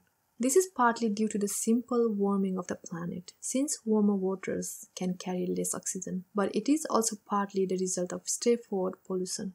A recent Gulf of Mexico dead zone, all 9,000 square miles of it, was powered by the runoff of fertilizer chemicals washing into the Mississippi from the industrial farms of the Midwest. In 2014, another typical toxic event struck Lake Erie when fertilizer from corn and soy farms in Ohio spawned an algae bloom that cut off drinking water for Toledo. And in 2018, a dead zone the size of Florida was discovered in the Arabian Sea, so big that researchers believed it might encompass the entire 63,700 square mile Gulf of Oman, seven times the size of the dead zone in the Gulf of Mexico. The ocean, said the lead researcher Bastien Queste, is suffocating. Dramatic declines in ocean oxygen have played a role in many of the planet's worst mass extinctions, and this process by which dead zones grow, choking off marine life and wiping out fisheries is already quite advanced, not only in the Gulf of Mexico, but just off Namibia, where hydrogen sulfide is bubbling out of the sea along a thousand mile stretch of land known as the Skeleton Coast. The name originally referred to the detritus of wrecked ships, but today it is more apt than ever. Hydrogen sulfide is also one of the things scientists suspect finally capped the end Permian extinction once all the feedback loops had been triggered. It is so toxic that evolution has trained us the tiniest, safest traces, which is why our noses are so exquisitely skilled at registering flatulence.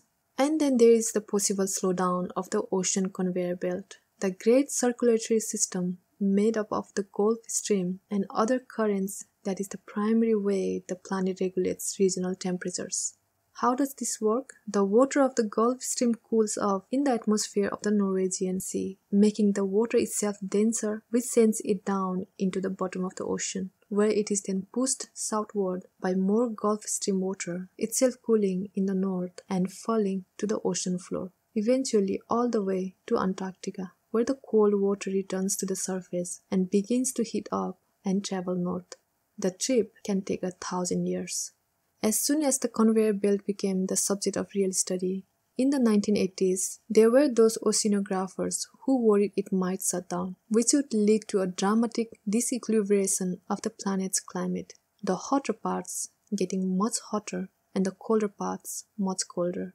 A total shutdown would be inconceivably catastrophic, though the impacts look deceptively innocuous on first scan a colder Europe, more intense weather, additional sea level rise. Invariably, this is described as the day after tomorrow scenario. And it is a strange twist of fate that so forgettable a movie has become the memorable shorthand for this particular worst case nightmare. A shutdown of the conveyor belt is not a scenario that any credible scientist worry about on any human timescale, but a slowdown is another matter. Already, climate change has depressed the velocity of Gulf Stream by as much as 15%, a development that scientists call an unprecedented event in the past millennium, believed to be one reason the sea level rise along the east coast of the United States is dramatically higher than anywhere else in the world. And in 2018, two major papers triggered a new wave of concern over the conveyor belt technically called Atlantic Meridional Overturning Circulation, which was found to be moving at its slowest rate in at least 1,500 years. This had happened about a hundred years ahead of the schedule of even alarmed scientists and marked what the climate scientist Michael Mann called ominously a tipping point. Further change, of course, is to come. The transformation of the ocean by warming, making these unknown waters doubly unknowable. Remodeling the planet's seas before we were able to discover their depth and all the life submerged there. Unbreathable air. Our lungs need oxygen, but it is only a fraction of what we breathe and the fraction tends to decline the more carbon is in the atmosphere. That doesn't mean we are at risk of suffocation. Oxygen is far too abundant for that, but we will nevertheless suffer. With CO2 at 930 parts per million, more than double where we are today, cognitive ability declines by 21%. The effects are more pronounced indoors, where CO2 tends to build up. That's one reason you probably feel a little more awake when taking a brisk walk outside when you do after spending a long day inside with the windows closed. And it's also a reason elementary school classrooms have been found by one study to already average 1000 parts per million with almost quarter of those surveyed in Texas over 3000 quite alarming numbers given that these are the environments we have designed to promote intellectual performance. But classrooms are not the worst offenders. Other studies have shown even higher concentrations on airplanes with effects you can probably groggily recall from past experience. But carbon is more or less the least of it. Going forward, the planet's air won't just be warmer, it will likely to be dirtier, more oppressive, and more sickening. Droughts have a direct impact on air quality, producing what is now known as dust exposure, and in the days of the American Dust Bowl was called dust pneumonia. Climate change will bring new dust storm to those plain states, where deaths from dust pollution are expected to more than double and hospitalization to triple. The hotter the planet gets, the more ozone forms, and by the middle of the century, Americans should suffer a 70% increase in days with unhealthy ozone smoke. The National Center for Atmospheric Research has projected. By the 1990s, as many as 2 billion people globally will be breathing air above the World Health Organization safe level. Already, more than 10,000 people die from air pollution daily. This is considerably more each day than the total number of people who have ever been affected by the meltdowns of nuclear reactors.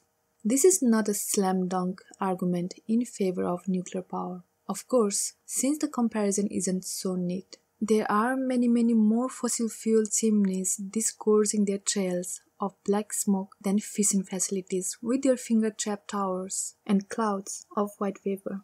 But it is a startling mark of just how all encompassing our regime of carbon pollution really is, enclosing the planet in a toxic sodal.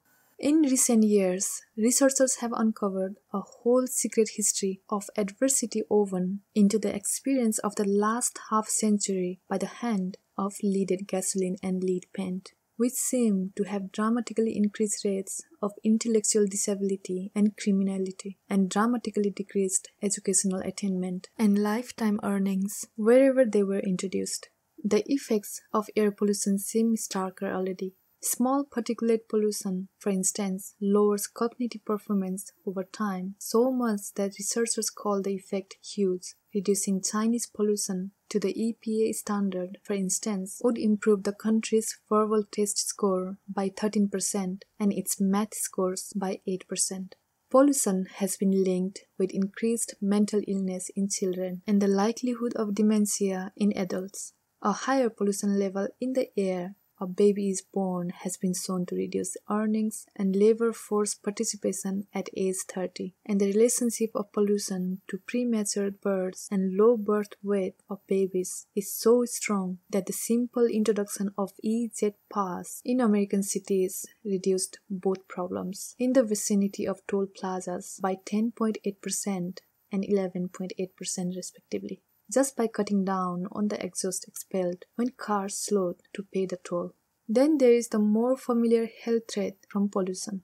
In 2013, melting Arctic ice remodeled Asian weather patterns, depriving industrial China of the natural wind ventilation patterns it had come to depend on, and as a result, blanketing much of the country's north in an unbreathable smoke. An obtuse seeming metric called the Air Quality Index categorizes the risk according to an idiosyncratic unit scale, tabulating the presence of a variety of pollutants. The warnings begin at 51 to 100 and at 201 to 300 include promises of significant increase in respiratory effects in the general population. The index tops out with the 301 to 500 range, warning of serious aggravation of heart or lung disease and premature mortality in persons with cardiopulmonary disease and the elderly and serious risk of respiratory effects in the general population. At that level, everyone should avoid all outdoor exertion. The Chinese apocalypse of 2013 doubled the high end of that upper range, reaching a peak air quality index of 993. And scientists studying the phenomenon suggested that China has inadvertently invented an entire new and unstudied kind of smoke, one that combined the pea soup population of industrial era Europe and the small particulate pollution that has lately contaminated so much of the developing world. That year, smoke was responsible for 1.37 million deaths in the country. Outside of China, most saw the photographs and video of a world capital blanketed by gray so thick it blotted out the sun as a sign, not of the state of the planet's atmosphere, but of just how backward that one country was, just how far China lagged behind the quality of life indices of the first world whatever its rapid economic growth suggested about its place in the global pecking order. Then, in the record California wildfire season of 2017, the air around San Francisco was worse than on the same day in Beijing. In Napa, the air quality index hit 486. In Los Angeles, there was a run on surgical masks. In Santa Barbara, residents scooped ash from drain pipes by the handful. In Seattle, the following year, wildfire smoke made it unsafe for everyone anywhere to breathe outside, which gave Americans one more reason panic about their own health to look away from the situation in Delhi, where in 2017 the air quality index reached 999. The Indian capital is home to 26 million people. In 2017, simply breathing its air was the equivalent of smoking more than two packs of cigarettes a day and local hospitals saw a patient surge of 20%. Runners in Delhi's half marathon competed with their heads wrapped by white masks, and air that thick with smog is hazardous in other ways. Visibility was so low that cars crashed in pileups on Delhi's highways, and United cancelled flights in and out of the city. New research shows that even short-term exposure to particulate pollution can dramatically increase rates of respiratory infections, with every additional 10 micrograms per cubic meter associated with a rise in diagnosis between 15 and 32 percent. Blood pressure goes up too. In 2017, the Lancet reported 9 million premature deaths globally were from small particulate pollution. More than a quarter were in India and that was before final figures were in from that year's spike. In Delhi, much of the pollution comes from the burning of nearby farmland, but elsewhere, small particulate smoke is produced primarily by diesel and gas exhaust and other industrial activity. The public health damage is indiscriminate, touching nearly every human vulnerability. Pollution increases prevalence of stroke, heart disease, cancer of all kinds, acute and chronic respiratory diseases like asthma, and adverse pregnancy outcomes, including premature birth. New research into the behavioral and development effects is perhaps even scarier. Air pollution has been linked to worse memory, attention, and vocabulary, and to ADHD and autism spectrum disorders. Pollution has been shown to damage the development of neurons in the brain, and proximity to a coal plant can deform your DNA. In the developing world, 98% of cities are enveloped by air above the threshold of safety established by the WHO, World Health Organization. Get out of urban areas and the problem doesn't just improve. 95% of the world's population is breathing dangerously polluted air. Since 2013, China has undertaken an unprecedented cleanup of its air, but as of 2015, pollution was still killing more than a million Chinese each year. Globally, one out of six deaths is caused by air pollution. Pollution like this isn't news in any meaningful sense. You can find omens about the toxicity of smoke and the dangers of blackened air. For instance, in the writing of Charles Dickens, rarely appreciated as an environmentalist. But every year, we are discovering more and more ways in which our industrial activity is poisoning the planet. One particular note of alarm has been struck by what seems like an entirely new or newly understood pollution threat microplastic. Global warming did not bring us microplastics in any direct way, and yet their rapid conquest of our natural world has become an irresistible fable about just what kind of transformation is meant by the word Anthropocene, and just how much of the world's booming consumer culture is to blame. Environmentalists probably know already about the Great Pacific Garbage Patch, the mass of plastic, twice the size of Texas, floating freely in the Pacific Ocean. It is not actually an island. In fact, it is not actually a stable mass, only rhetorically convenient for us to think of it that way. And it is most composed of large scale plastics, of the kind visible to the human eye. The microscopic bits, 700,000 of them, can be released into the surrounding environment by a single washing machine cycle are more insidious. And believe it or not, more pervasive, a quarter of fish sold in Indonesia and California contain plastics, according to one study. European eaters of shellfish, one estimate has suggested consume at least 11,000 bits each year. The direct effect on ocean life is even more striking. The total number of marine species said to be adversely affected by plastic pollution has risen from 260 in 1995 when the first assessment was carried out to 690 in 2015 and 1450 in 2018. A majority of fish tested in the Great Lakes contained microplastics, as did the guts of 73% of fish surveyed in the Northwest Atlantic. One UK supermarket study found that every 100 grams of mussels were infested with 70 particles of plastic. Some fish have learned to eat plastic, and certain species of krill are now functioning as plastic processing plants, turning microplastics into smaller bits that scientists are now calling nanoplastics. But krill can't grind it all down. In one square mile of water near Toronto, 3.4 million microplastic particles were recently trolled. Of course, seabirds are not immune. One researcher found 225 pieces of plastic in the stomach of a single three month old chick, weighing 10% of its body mass, the equivalent of an average human carrying about 10 to 20 pounds of plastic in a distended belly. Imagine having to take your first flight out to sea with all that in your stomach. The researcher told the Financial Times, adding, Around the world, seabirds are declining faster than any other bird group. Microplastics have been found in beer, honey, and 16 of 17 tested brands of commercial sea salt across 8 different countries.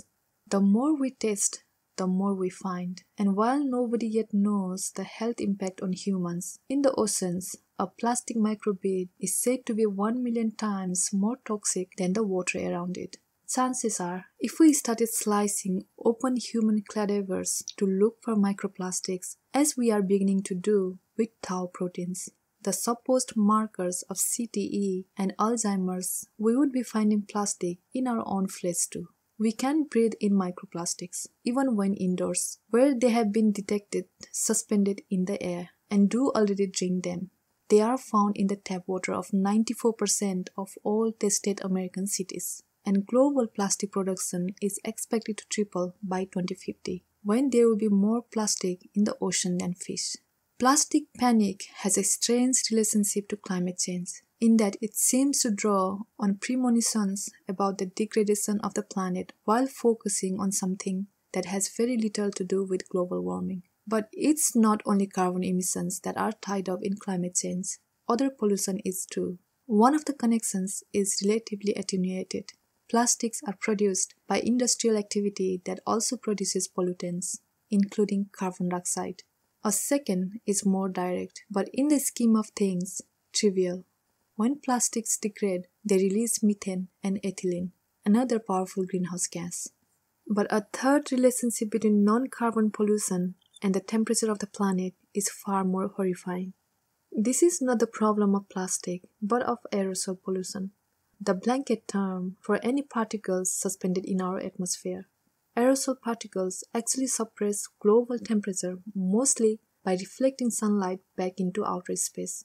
In other words, all of the non carbon pollution we have exhausted from our power plants and our factories and our automobiles, suffocating some of the largest and most prosperous cities of the world and consigning many millions of the lucky to hospital beds and many millions of others to early deaths. All of that pollution has been perversely reducing the amount of global warming we are currently experiencing.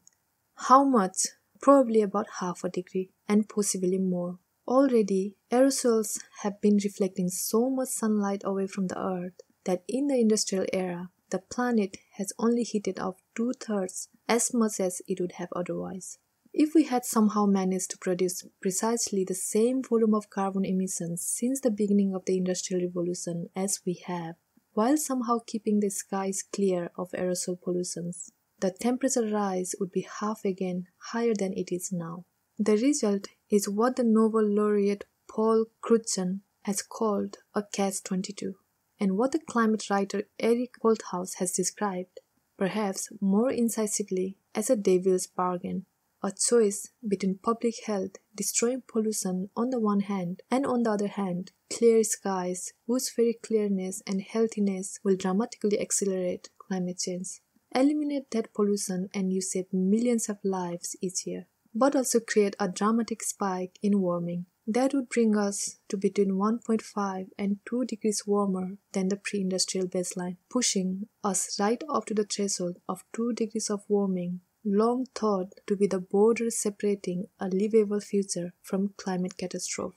For almost a generation now, engineers and futurists have contemplated the practical implications of this phenomenon and the prospect of suppressing global temperature with a program of suspended particles that is polluting the air on purpose to keep the planet cooler.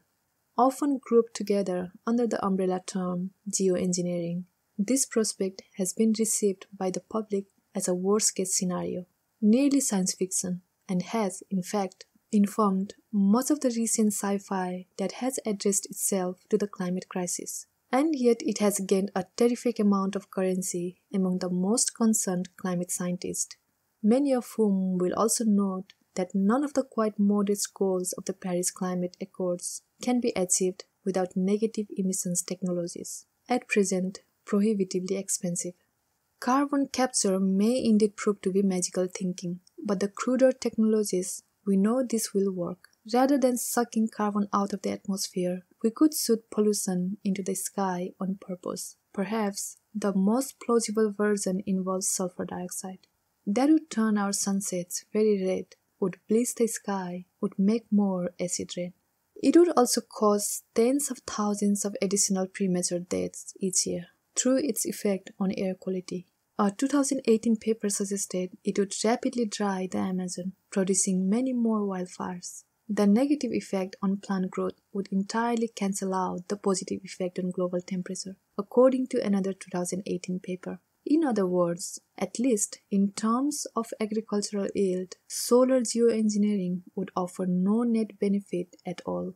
Once we began such a program, we could never stop. Even a brief interruption, a temporary dispersal of our red sulfur umbrella could send the planet plunging several degrees of warming forward into a climate abyss, which would make whatever installations were sustaining that umbrella quite vulnerable to political gamesmanship and terrorism, as its advocates themselves would acknowledge. And yet, many scientists still describe geoengineering as an inevitably. It's just so cheap, they say. Even an environmentalist billionaire going rogue could make it happen on their own. Plague of warming. Rock is a record of planetary history, eras as long as millions of years, flattened by the forces of geological time into strata with amplitude of just inches or just an inch or even less. Ice works that way too, as a climate ledger, but it is also frozen history, some of which can be reanimated when unfrozen. There are now trapped in Arctic ice diseases that have not circulated in the air for millions of years, in some cases since before humans were around to encounter them, which means our immune systems would have no idea how to fight back when those prehistoric plagues emerge from the ice. Already in laboratories, several microbes have been reanimated. A 32,000 year old extremophile bacteria revived in 2005, an 8 million year old bug brought back to life in 2007, a 3.5 million year old one a Russian scientist self injected. Out of curiosity, just to see what would happen, he survived. In 2018, scientists revived something a bit bigger a worm that had been frozen in permafrost for the last 42,000 years. The Arctic also stores terrifying diseases from more recent times. In Alaska, researchers have discovered remnant of the 1918 flu that infected as many as 500 million and killed as many as 50 million about 3% of the world's population and almost six times as many as had died in the World War, for which the pandemic served as a kind of gruesome capstone. Scientists suspect smallpox and the bubonic plague are trapped in Siberian ice, among many other diseases that have otherwise passed into human legend. An abridged history of devastating sickness left out like egg salad in the Arctic zone. Many of these frozen organisms won't actually survive the thaw. Those that have been brought back to life have been reanimated typically under fastidious lab conditions. But in 2016, a boy was killed and 20 others infected by anthrax released when retreating permafrost exposed the frozen carcass of a reindeer killed by the bacteria at least 75 years earlier. More than 2000 present day reindeer died. What concerns epidemiologists more than ancient diseases are existing scourges relocated, rewired, or even re evolved by warming. The first effect is geographical. Before the early modern period, human provinciality was a guard against pandemic. A bug could wipe out a town or a kingdom, or even in an extreme case, devastate a continent. But in most instances, it could not travel much farther than its victims which is to say, not very far at all. The Black Death killed as much as 60% of Europe, but consider for a gruesome counterfactual how big its impact might have been in a truly globalized world. Today, even with globalization and the rapid intermingling of human populations, our ecosystems are mostly stable, and this functions as another limit. We know where certain bugs can spread and know the environments in which they cannot. This is why certain vectors of adventure tourism require dozens of new vaccines and prophylactic medications, and why new workers traveling to London don't need to worry. But global warming will scramble those ecosystems, meaning it will help disease trespass those limits as surely as Cortes did. The footprint of every mosquito borne illness is presently circumscribed, but those borders are disappearing rapidly as the tropics expand. The current rate is 30 miles per decade. In Brazil, for generations, yellow fever sat in the Amazon basin, where the Haemagogus and Sabethes mosquitoes thrived, making the disease a concern for those who lived, worked, or traveled deep into the jungle, but only for them. In 2016, it left the Amazon as more and more mosquitoes fanned out of the rainforest. And by 2017, it had reached areas around the country's megalopolises, Sao Paulo and Rio de Janeiro, more than 30 million people, many of them living in shanty towns, facing the arrival of a disease that kills between 3 and 8% of those infected. Yellow fever is just one of the plagues that will be carried by mosquitoes as they migrate, conquering more and more of a warming world, the globalization of pandemic disease. Malaria alone kills a million people each year already, infecting many more, but you don't worry much about it if you are living in Maine or France. As the tropics creep northward, and mosquitoes migrate with them, you may, over the course of the next century, more and more of the world's population will be living under the shadow of the diseases like this. You did not much worry about Zika before a couple of years ago either. As it happens, Zika may also be a good model of a second worrying effect disease mutation. One reason you hadn't heard about Zika until recently is that it had been trapped in Uganda and Southeast Asia. Another is that it did not until recently appear to cause birth defects. Scientists still don't entirely understand what happened or what they missed. Even now, several years after the planet seemed gripped by panic about microcephaly, it could be that the disease changed as it came to the Americas, the result of a genetic mutation or inadaptive response to a new environment, or that Zika produces those devastating prenatal effects only when another disease is present, possibly one less common in Africa. Or that something about the environment or immunological history in Uganda protects mothers and their unborn children.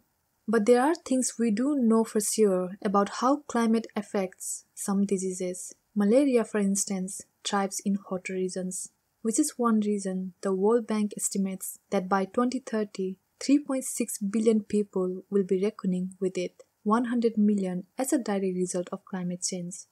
Projections like those depend not just on climate models, but on an integrated understanding of the organism at play, or rather, organisms. Malaria transformation involves both the disease and the mosquito. Lyme disease, both the disease and the tick, which is another epidemiologically threatening creature whose universe is rapidly expanding thanks to global warming. As Mary Beth Pfeiffer has documented, Lyme case counts have spiked in Japan, Turkey, and South Korea, where the disease was literally non existent as recently as 2010. Zero cases, and now lives inside hundreds more Koreans each year. In the Netherlands, 54% of the country's land is now infested. In Europe as a whole, Lyme case loads are now three times the standard level.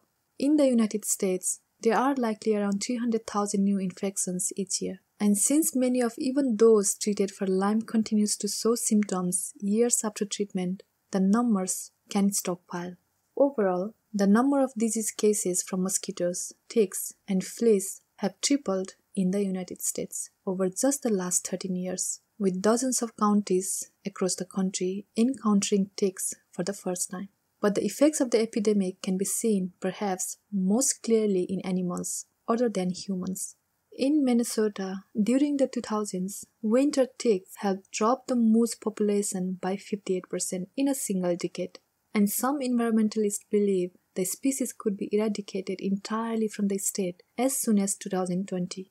In New England, dead moose calves have been found suckling as many as 90,000 engorged ticks, often killing the calves not through Lyme disease but simple anemia. The effect of that number of bugs is drawing a few millimeters of blood from the moose. Those that survive are far from robust, many having scratched so incessantly at their own hides to clear it of ticks that they completely eliminated their own hair, leaving behind a spooky gray skin that has earned them the name ghost moose. Lyme is still, in relative terms, a young disease, and one we don't yet understand all that well we attribute a very mysterious and incoherent set of symptoms to it, from joint pain to fatigue to memory loss to facial palsy, almost as a catch-all explanation for ailments we cannot pinpoint in patients who we know have been bitten by a bug carrying the bug. We do know ticks, however, as surely as we know malaria. There are not many parasites we understand better, but there are many, many millions we understand worse, which means our sense of how climate change will redirect or remodel them is shrouded in a foreboding ignorance. And then there are the plagues that climate change will confront us with for the very first time. A whole new universe of diseases humans have never before known to even worry about. New universe is not hyperbole. Scientists guess the planet could harbor more than a million yet to be discovered viruses. Bacteria are even trickier, and so we probably know about even fewer of them. Perhaps scariest are those that live within us peacefully for now. More than 99% of even those bacteria inside human bodies are presently unknown to science, which means we are operating in near total ignorance about the effects climate change might have on the bugs in, for instance, our guts, about how many of the bacteria modern humans have come to rely on, like unseen factory workers, for everything from digesting our food to modulating our anxiety, could be rewired, diminished, or entirely killed off by an additional few degrees of heat. Overwhelmingly, of course, the viruses and bacteria making homes inside us are non threatening to humans at present. Presumably, a difference of a degree or two in global temperature won't dramatically change the behavior of the majority of them. Probably the vast majority, even the overwhelming majority. But consider the case of the saiga, the adorable dwarf-like antelope native to Central Asia. In May 2015, nearly two-thirds of the global population died in the span of just days. Every single saiga in an area the size of Florida, the land suddenly dotted with hundreds of thousands of saiga carcasses and not one lone survivor. And even like this is called a mega death. This one so striking and cinematic that it gave rise immediately to a whole raft of conspiracy theories. Aliens, radiation, dumped rocket fuel, but no toxins were found by researchers poking through the killing fields in the animal themselves, in the soil, in the local plants.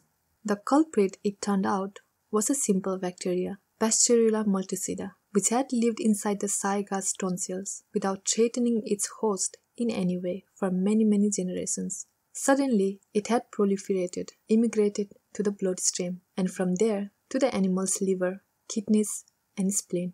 Why? The places where the saigas died in May 2015 were extremely warm and humid. Ed Yong wrote in the Atlantic. In fact, the humidity levels were the highest ever seen in the region since records began in 1948. The same pattern held for two earlier and much smaller die-offs from 1981 and 1988. When the temperature gets really hot and the air gets really wet, Saiga die. Climate is the trigger, Pasteurella is the bullet. This is not to say we now understand what precisely about humidity weaponized Pasteurella or how many of the other bacteria living inside mammals like us, the 1% we have identified, or perhaps more worryingly, the 99% we house without any knowledge or understanding, might be similarly triggered by climate. Friendly, symbiotic bugs with whom we have lived in some cases for millions of years, transformed suddenly into contagions already inside us. That remains a mystery, but ignorance is no comfort. Presumably, climate change will introduce us to some of them. Economic collapse. The murmuring mantra of global markets, which prevailed between the end of Cold War and the onset of the Great Recession, promising something like their own eternal reign, is that economic growth will save us from anything and everything. But in the aftermath of 2008 crash, a number of historians and iconoclastic economists studying what they call fossil capitalism have started to suggest that the entire history of swift economic growth, which began somewhat suddenly in the 18th century, is not the result of innovation or the dynamics of free trade, but simply our discovery of fossil fuels and all their raw power, a one time injection of that new value into a system that had previously been characterized by unending subsistence living. This is a minority view among economists, and yet praise version of the perspective is quite powerful. Before fossil fuels, nobody lived better than their parents or grandparents or ancestors from 500 years before, except in the immediate aftermath of a great plague like a Black Death, which allowed the lucky survivors to gobble up the resources liberated by mass graves. In the West, especially, we tend to believe we are invented our way out of that endless zero sum, scratch and claw resource scramble, both with particular innovations like the steam engine and computer, and with the development of a dynamic capitalistic system to reward them. But scholars like Andreas Malm have different perspective. We have been extracted from that mug only by a singular innovation, one engineered not by entrepreneurial human hands, but in fact millions of years before the first one ever dug at the earth, engineered by time and geologic weight, which many millennia ago pressed the fossils of Earth's earlier carbon based life forms, plants, small animals, into petroleum like lemon under a press. Oil is the patrimony of the planet's pre human past what stored energy the earth can produce when undisturbed for millennia. As soon as humans discovered that storehouse, they set about plundering it so fast that at various points over the last half century, oil forecasters have panicked about running out. In 1968, the labor historian Eric Hobsbawm wrote, Whoever says industrial revolution says cotton. Today, he would probably substitute fossil fuel. The timeline of growth is just about perfectly consistent with the burning of those fuels. Though doctrinaire economists would argue there is much more to equation of growth. Generations being as long as they are and historical memory as short, the waste several centuries of relatively reliable and expanding prosperity have endowed economic growth with the reassuring aura of permanence. We expect it, on some continents at least, and rage against our leaders and elites when it does not come.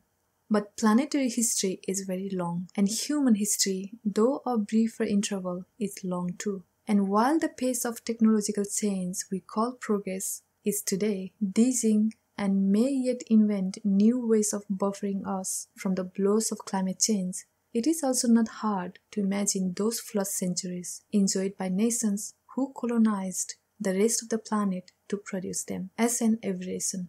Earlier, empires had boom years too.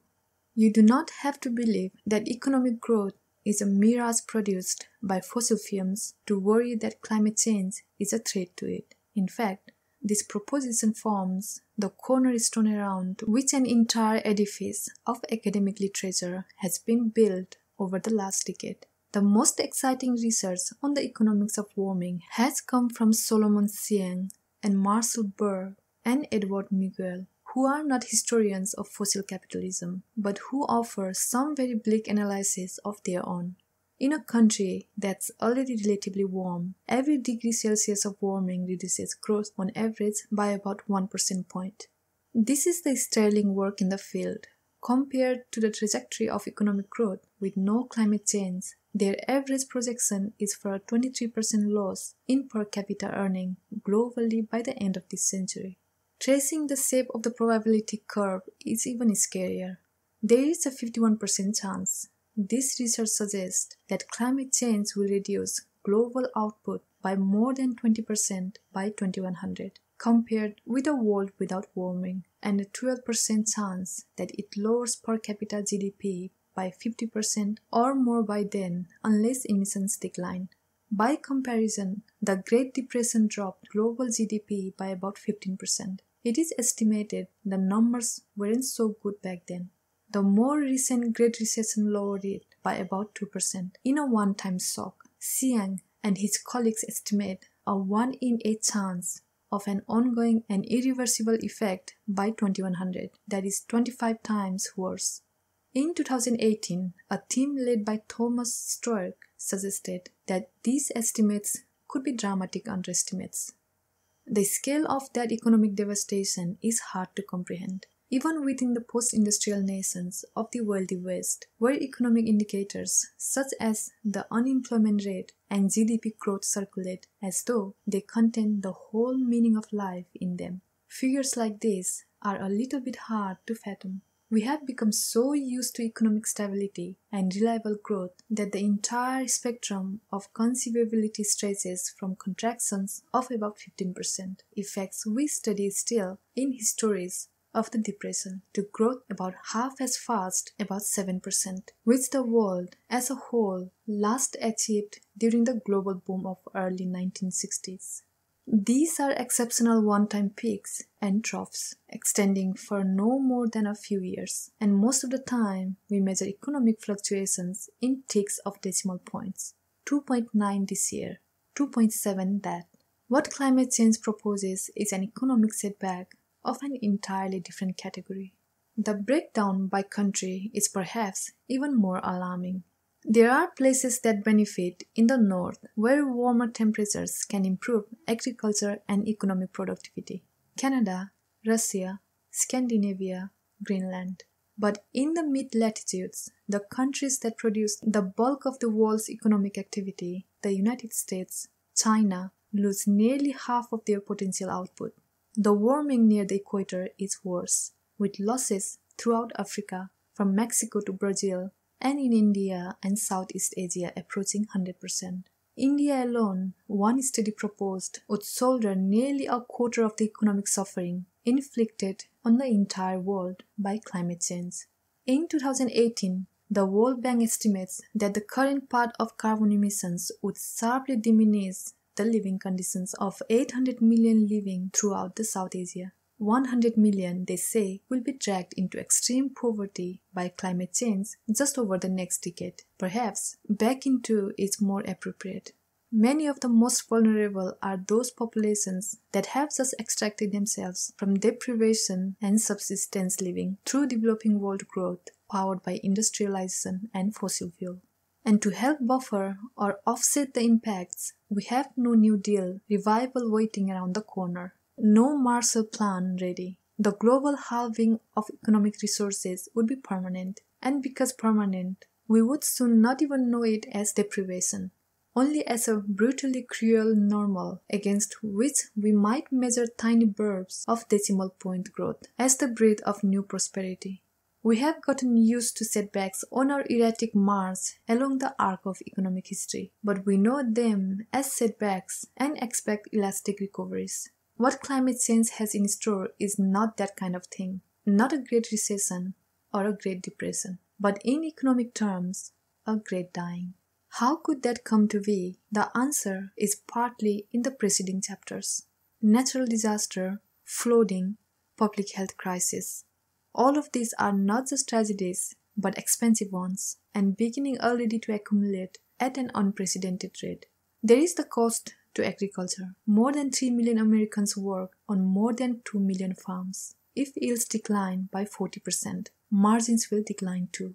In many cases, disappearing entirely. The small farms and cooperatives and even empires of agribusinesses slipping underwater and drowning under debt all those who own and work those arid fields, many of them old enough to remember the same plains age of plenty. And then there is the real flooding. 2.4 million American homes and businesses, representing more than $1 trillion in present day value, will suffer chronic flooding by 2100, according to a 2018 study by the Union of Concerned Scientists.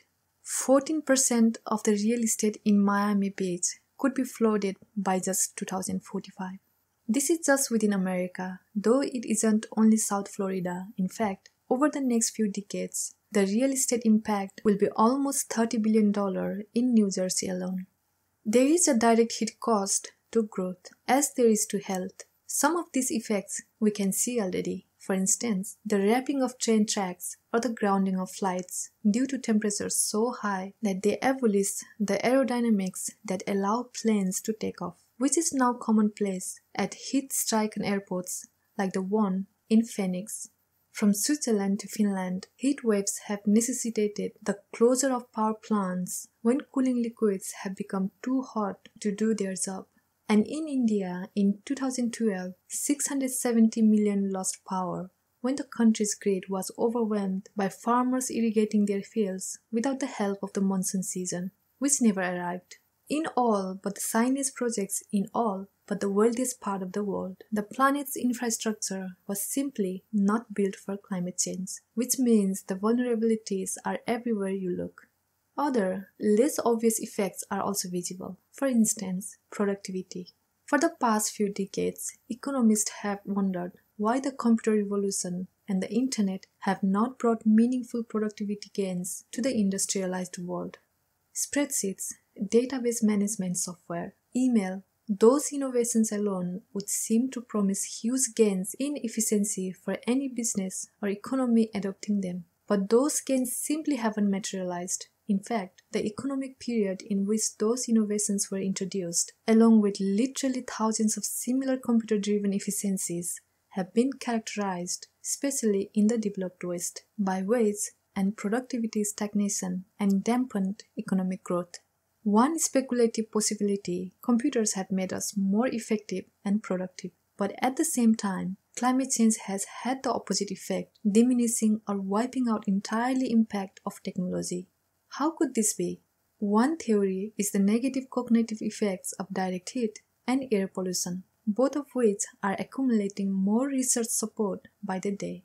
And whether or not that theory explains the great stagnation of the last several decades, we do know that globally warmer temperatures do dampen worker productivity. The claim seems both far-fetched and intuitive, since on the one hand, you don't imagine a few bricks of temperature would turn entire economics into zombie markets. And since on the other, you yourself have surely labored at work on a hot day with the air conditioning out and understand how hard that can be. The bigger picture perspective is harder to swallow, at least at first. It may sound like geographic determinism, but Hsiang, Burke, and Miguel have identified an optimal annual average temperature for economic productivity 13 degrees Celsius, which just so happens to be the historical median for the United States and several other of the world's biggest economies. Today, the US climate hovers around 13.4 degrees, which translates into less than 1% of GDP loss though. Like compound interest, the effects grow over time. Of course, as the country has warmed over the last decades, particular regions have seen their temperature rise, some of them from suboptimal levels to something closer to an ideal setting climate wise. The greater San Francisco Bay Area, for instance, is sitting pretty right now at exactly 13 degrees. This is what it means to suggest that climate change is an enveloping crisis. one that touches every aspect of the way we live on the planet today. But the world's suffering will be disturbed as unequally as it profits, with greater divergence both between countries and within them.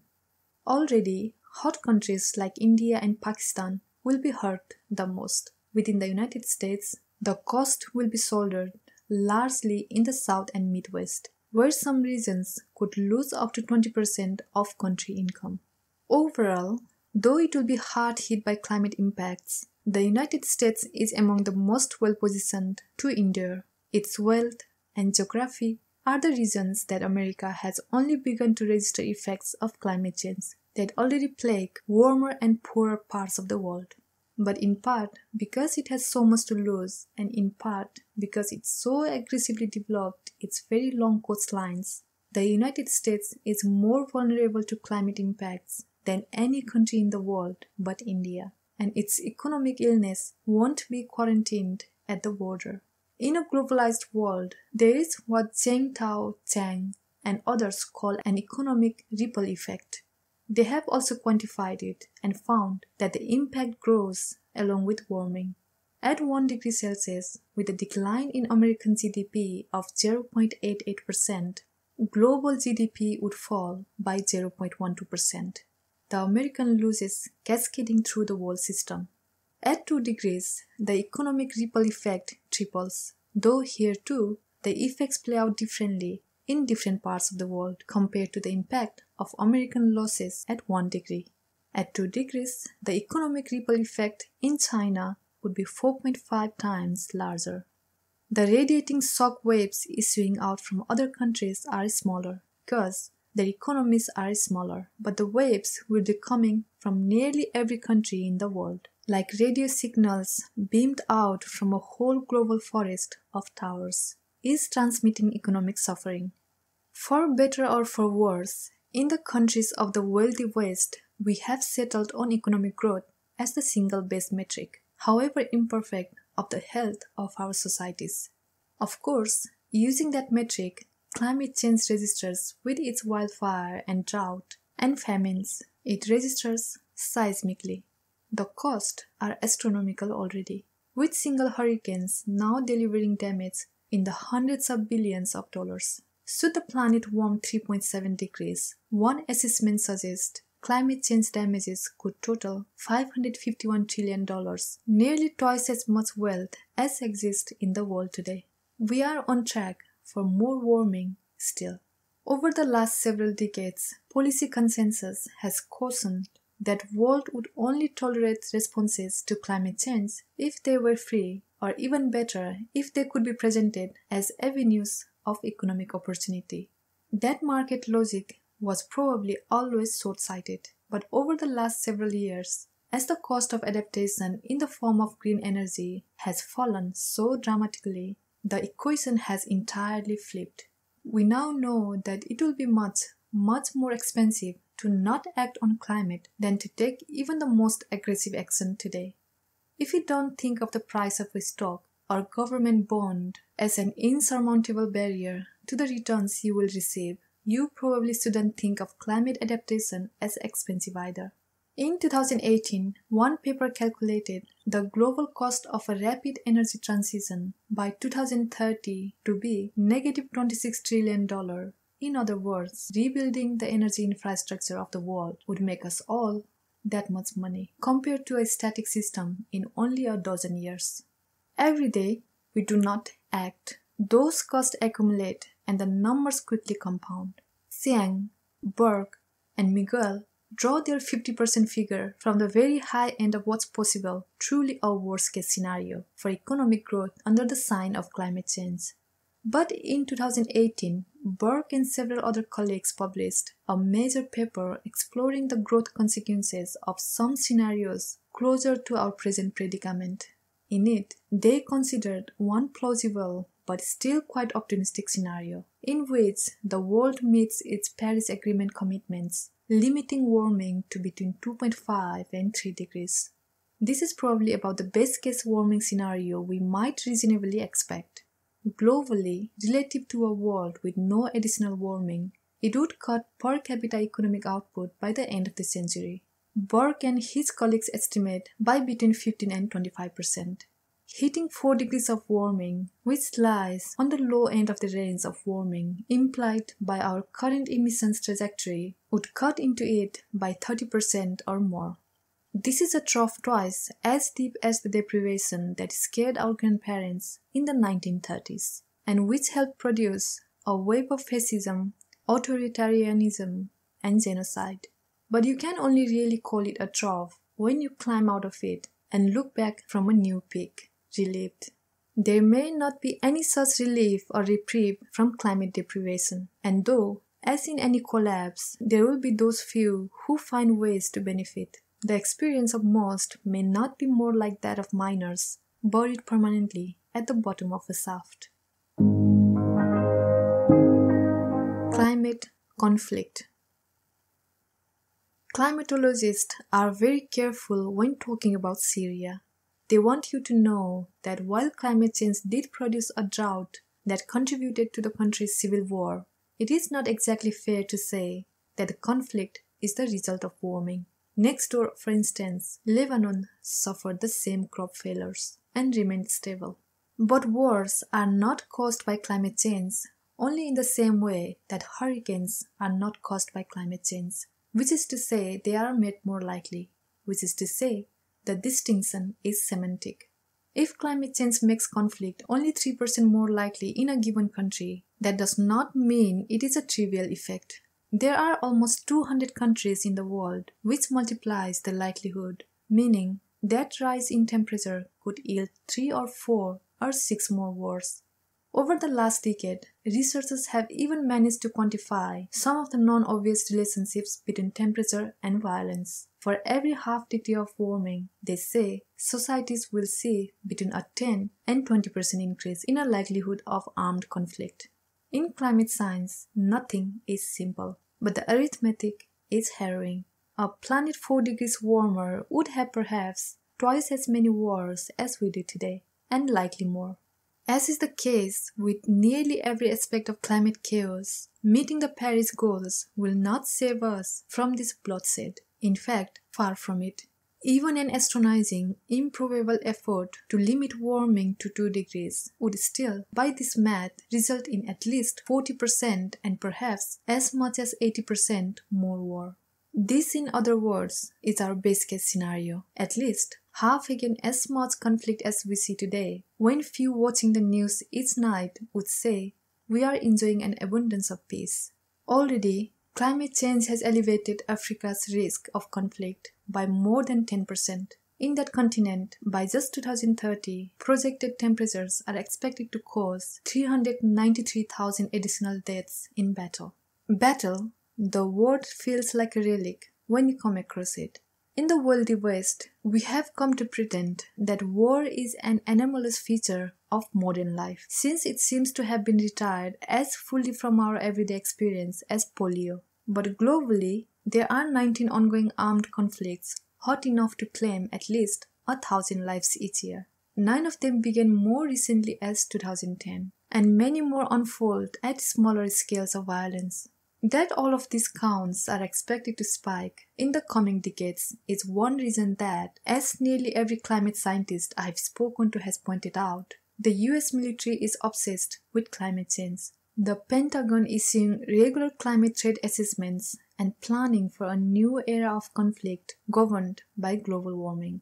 The drowning of American Navy bases by sea level rise is trouble enough, and the melting of the Arctic promises to open an entirely new theater of conflict, once nearly as foreign seeming as the space race. It also positions the country primarily against America's old rivals, the Russians, now revived as adversaries.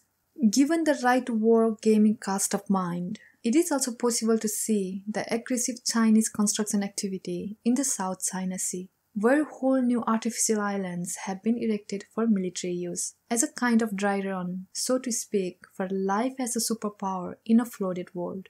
The strategic opportunity is clear, with so many of the existing footholds, like all those low-lying islands the United States once used to stepping stone its own empire across the Pacific expected to disappear by the end of the century, if not before. The Marshall Islands archipelago, for instance, seized by the US during World War II, could be rendered uninhabitable by sea level rise as soon as mid century. The US Geological Survey has warned its island will be underwater even if we meet the Paris goals. And what is taken down with them is quite scary. Beginning with the bombing at Bikini Atoll, these islands were ground zero for American atom bombs. Testing just after the war, the US military has only ever cleaned up one island of radioactivity, which makes them the world's largest nuclear waste site. But for the military, climate change is not just a matter of great power rivalry executed across a transformed map. Even for those in the American military who expect the country's hegemony to endure indefinitely, climate change presents a problem because being the world's policeman is quite a bit harder when the crime rates double. And it's not just Syria where climate has contributed to conflict. Some speculate that the elevated level of strife across the Middle East over the past generation reflects the pressure of global warming. A hypothesis all the more cruel considering that warming began to accelerate when the industrialized world extracted and then burned the region's well. From Boko Haram to ISIS to the Taliban and militant Islamic groups in Pakistan, drought and crop failure have been linked to radicalization, and the effect may be especially pronounced amid ethnic strife. From 1990 to 2010, a 2016 study found 23% of conflict in the world's ethnically diverse countries began in months stemmed by weather disaster. According to one assessment, 32 countries from Haiti to Philippines and India to Cambodia each heavily dependent on farming and agriculture face extreme risk of conflict and civil unrest from climate disruption over the next 30 years. What accounts for the relationship between climate and conflict? Some of it comes down to agriculture and economics. When yields drop and productivity falls, societies can falter. And when drought and heat waves hit, the shocks can be felt even more deeply, electrifying political fault lines and producing or exposing others no one knew to worry over. A lot has to do with the forced migration that can result from these shocks. And with the political and social instability that migration often produces, when things go south, those who are able to flee not always to the places ready to welcome them. In fact, recent history shows quite often the opposite. And today, migration is already at a record high, with almost 70 million displaced people wandering the planet right now. That is the outbound impact, but the local one is often more profound. Those who remain in a region ravaged by extreme weather often find themselves navigating an entirely new social and political structure, if one endures at all. And it is not just weak states that fall at the hands of climate pressures. In recent years, scholars have compiled a long list of empires buckled, at least in part, by climate effects and events Egypt, Acadia, Rome, this complex calculus is what makes researchers reluctant to assign blame for conflict neatly. But complexity is how warming articulates its brutality. Like the cost to growth, war is not a discrete impact of global temperature rise, but something more like an all encompassing aggregation of climate change, wars, tremor, and cascades. The Center for Climate and Security, a state focused think tank, organizes the threat from climate change into six categories CATS 22 states in which governments have responded to local climate challenges to agriculture, for example, by turning towards a global marketplace that is now more than ever vulnerable to climate shocks. Brittle states, stable on the surface, but only by a run of good climate luck. Fragile states, such as Sudan, Yemen, and Bangladesh, where climate impacts have already eaten into trust in state authority, or worse, disputed zones among states like the South China Sea or Arctic, disappearing states, which they mean literally as in the case of the Maldives, and non state actors like ISIS, which can seize local resources such as fresh water as a way of applying leverage against the normal state authority or the local population. In each case, climate is not the sole cause, but the spark igniting a complex bundle of social kindling. This complexity may also be one reason we cannot see the threat of escalating war very clearly. Choosing to regard conflict as something determined primarily by politics and economics when all three are in fact governed, like everything else, by the conditions established by our rapidly changing climate. Over the last decade or so, the linguist Steven Pinker has made a second career out of suggesting that, in the West especially, we are unable to appreciate human progress, are in fact blind to all of the massive and rapid improvements the world has witnessed in less violence and war and poverty, reduced infant mortality, and enhanced life expectancy. It's true, we are. When you look at the charts, the trajectory of that progress seems inarguable so many fewer violent deaths, so much less extreme deprivation, a global middle class expanding by the hundreds of millions. But again, that story is about the wealth brought by industrialization and the transformation of societies by newfound wealth powered by fossil fuel. It's a story written largely by China and to a lesser extent the rest of the developing world, which has developed by industrializing and the cost of much of that progress, the balance come due for all the industrialization that made middle classness possible for the billions of people in the global south, is climate change, which we are, ironically, far too sanguine about, Pinker included. Worse still, the warming unleashed by all our progress heralds a return to violence. Even when it comes to war, historical memory has a statistically short half-life. Horrors and their causes gauzily evanescing into familiar folklore in less than the span of a single generation. But most wars throughout the history, it is important to remember, have been conflicts over resources, often ignited by resource scarcity, which is what an earth densely populated and denuded by climate change will yield. Those wars don't tend to increase those resources. Most of the time, they incinerate them. The folklore of state conflict cast a long shadow, a patchwork quilt of nations tucked apart into a ghastly, mutually damaging disarray. Climate talks at the individual traits of conflict too personal irritability, interpersonal conflict, domestic violence.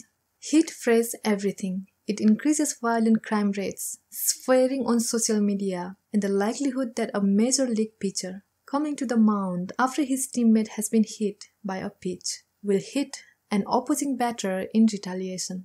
The hotter it gets, the longer drivers will honk their horns in frustration. And even in stimulations, police officers are more likely to fire on intruders when the exercises are conducted in the hotter weather. By 2099, one speculative paper tabulated climate change in the United States would bring about an additional 22,000 murders, 180,000 rapes, 2.5 million assaults, and 3.76 million robberies, burglaries, and acts of larceny. The statistics of the past are more inarguable, and even the arrival of air conditioning in the developed world in the middle of the last century did little to solve the problem of the summer crime wave. It's not just temperature effects. In 2018, a team of researchers examining an enormous data set of more than 9,000 American cities found that air pollution levels positively predicted incidents of every single crime category they looked at, from car theft and burglary, and larceny up to assault, rape, and murder. And then there are the ways that climate impacts can cascade into violence more circuitously. Between 2008 and 2010, Guatemala was hit by Tropical Storm Arthur, Hurricane Dolly, Tropical Storm Agatha, and Tropical Storm Hermine. This, a country that was already one of the 10 most affected by extreme weather and reeling in the same years from the eruption of a local volcano and a regional earthquake. All told, almost 3 million were left food insecure and at least 400,000 needed humanitarian assistance from the 2010 disasters alone. The country sustained damages totaling more than a billion dollars, or roughly a quarter of the national budget, devastating its roads and supply chains. In 2011, it was hit by tropical storm 12E, and in the wake of the disasters, farmers turned to growing poppies. Organized crime, already an enormous problem, exploded, which would perhaps not surprise us, given that recent research has shown that the Sicilian mafia was produced by drought. Today, Guatemala has the fifth highest homicide rate in the world.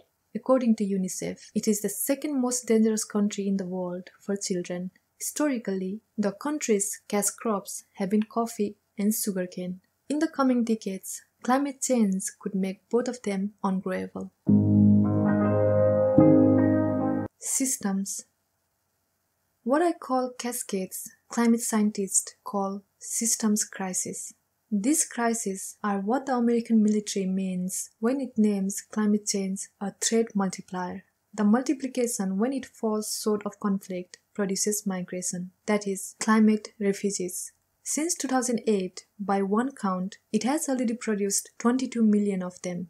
In the West, we often think of refugees as a failed state problem. That is, a problem that the broken and impoverished parts of the world inflict on relatively more stable and wealthier societies. But Hurricane Harvey produced at least 60,000 climate migrants in Texas, and Hurricane Irma forced the evacuation of nearly 7 million. As with so much else, it will only get worse from here. By 2100, sea level rise alone could displace 13 million Americans, a few percent of the country's total population. Many of those sea level refugees will come from the country's southeast, chiefly Florida, where 2.5 million are expected to be flooded out of greater Miami and Louisiana, where the New Orleans area is predicted to lose half a million. As an unusually wealthy country, the United States is for now unusually suited to withstand such disruptions. One can almost imagine, over the course of a century, tens of millions of resettled Americans adapting to a ravaged coastline and a new geography for the country. Almost. But warming is not just a matter of sea level, and its horror will not hit nations like the United States first. In fact, the impacts will be greatest in the world's least developed, most impoverished, and therefore least resilient nations. Almost literally, a story of the world's rich drowning the world's poor with their waste. The first country to industrialize and produce greenhouse gas on a grand scale, the United Kingdom, is expected to suffer the least from climate change. The world's slowest developing countries producing the least emissions will be among those hardest hit. The climate system of the Democratic Republic of Congo, one of the world's poorest countries, is scheduled to be especially profoundly perturbed. The Congo is mostly landlocked and mountainous, but in the next generation of warming, those features will not be protections. Wealth will be a buffer for some countries, but not a safeguard, as Australia is learning already. By far, the richest of all the countries starting down the most intense, most immediate warming barrages, it is an early test case of how the world's affluent societies will bend or buckle or rebuild under the pressure of temperature changes likely to hit the rest of the well-off world only later this century. The country was founded on genocidal indifference to the native landscape and those who inhabited it, and its modern ambitions have already been precarious. Australia is today a society of expensive abundance, jerry-rigged onto a very harsh and ecologically unforgiving land. In 2011, a single heat wave there produced significant tree dieback and coral bleaching. The death of the plant life, crashes in local bird populations, and dramatic spikes in the number of certain insects, and transformations of ecosystems, both marine and terrestrial, when the country enacted a carbon tax, its emission fell. When under political pressure, the tax was repealed, they rose again. In 2018, the country's parliament declared global warming a current and existential national security risk. A few months later, its climate conscious prime minister was forced to resign for the same of attempting to honor the Paris Accords. The wheels of all communities are greased by abundance, baked by deprivation, they all stall and crack. The paths are familiar ones, even to those who have only ever known affluence. Their lives, creamily fictionless and stimulated by entertainments tracing the arc of social decline. Market breakdowns, price gouging, the hoarding of goods and services by the well off and well armed the retreat of law enforcement into self enrichment, and the disappearance of any expectation of justice, making survival suddenly a matter of entrepreneurial skill. More than 140 million people in just three regions of the world will be made climate migrants by 2050, the World Bank projected in a 2018 study. Assuming current warming and emissions trends, 86 million in sub Saharan Africa, 40 million in South Asia, and 17 million in Latin America. The most commonly cited estimate from the United States International Organization for Migration suggests numbers a bit higher, 200 million total by 2050.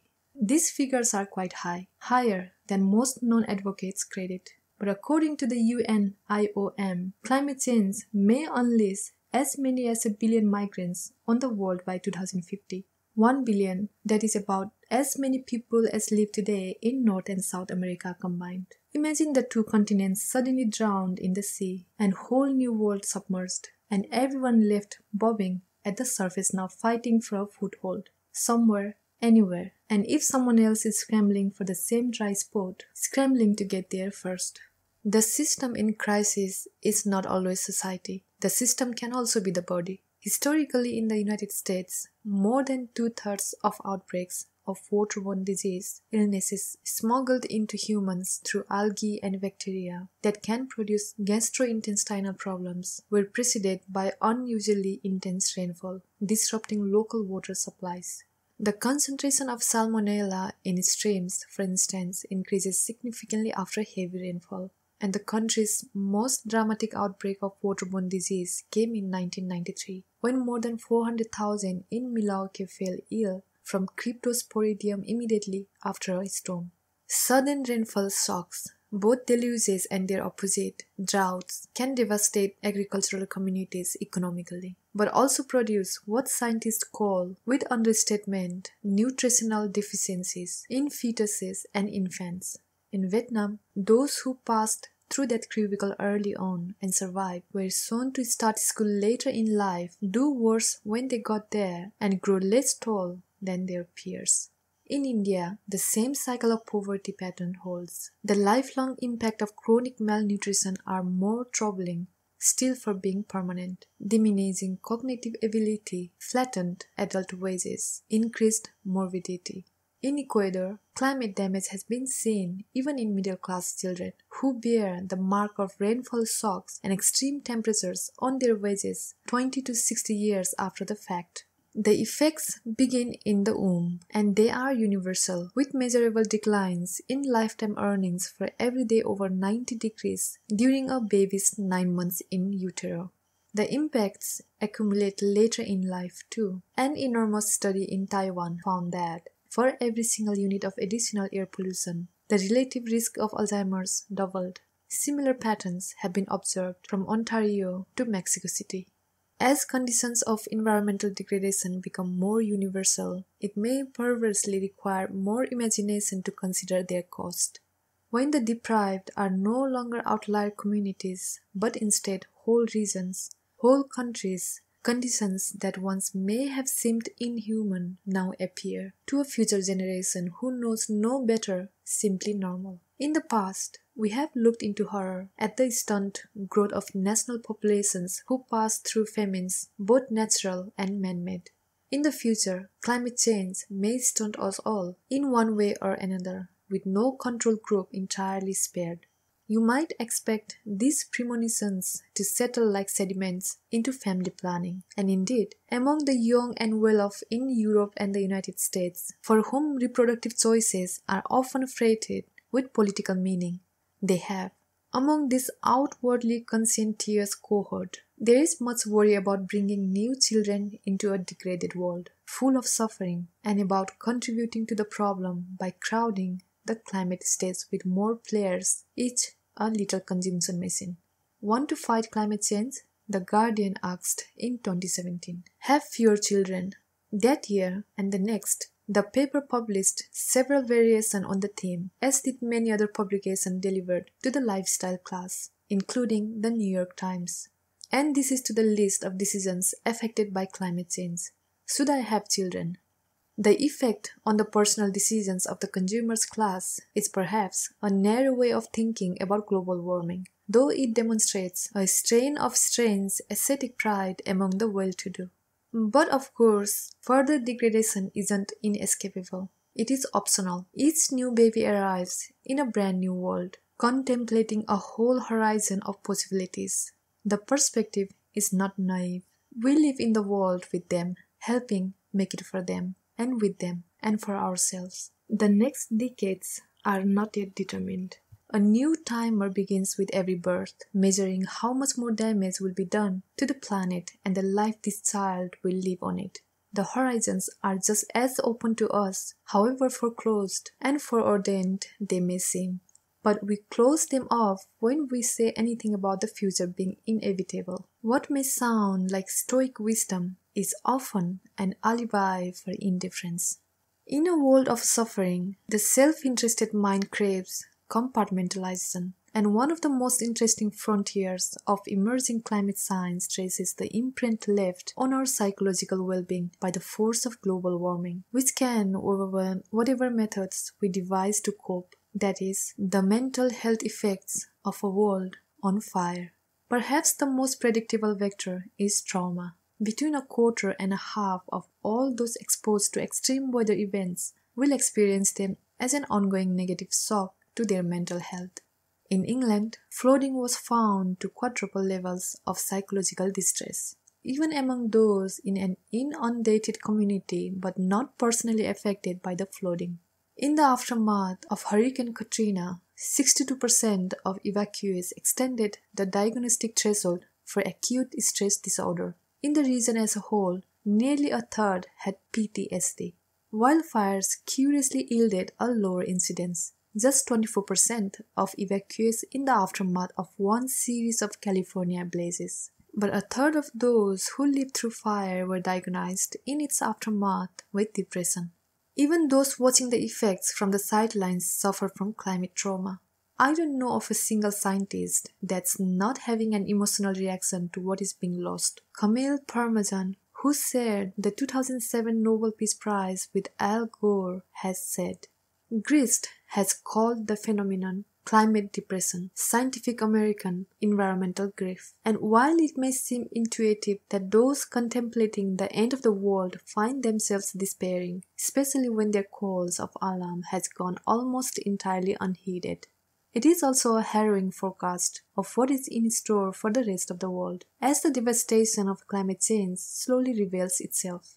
In the sense of psychological distress, which so many of them endure, climate scientists are the canaries in our coal mine. This may be why so many of them seem concerned with the risk of crying wolf about warming.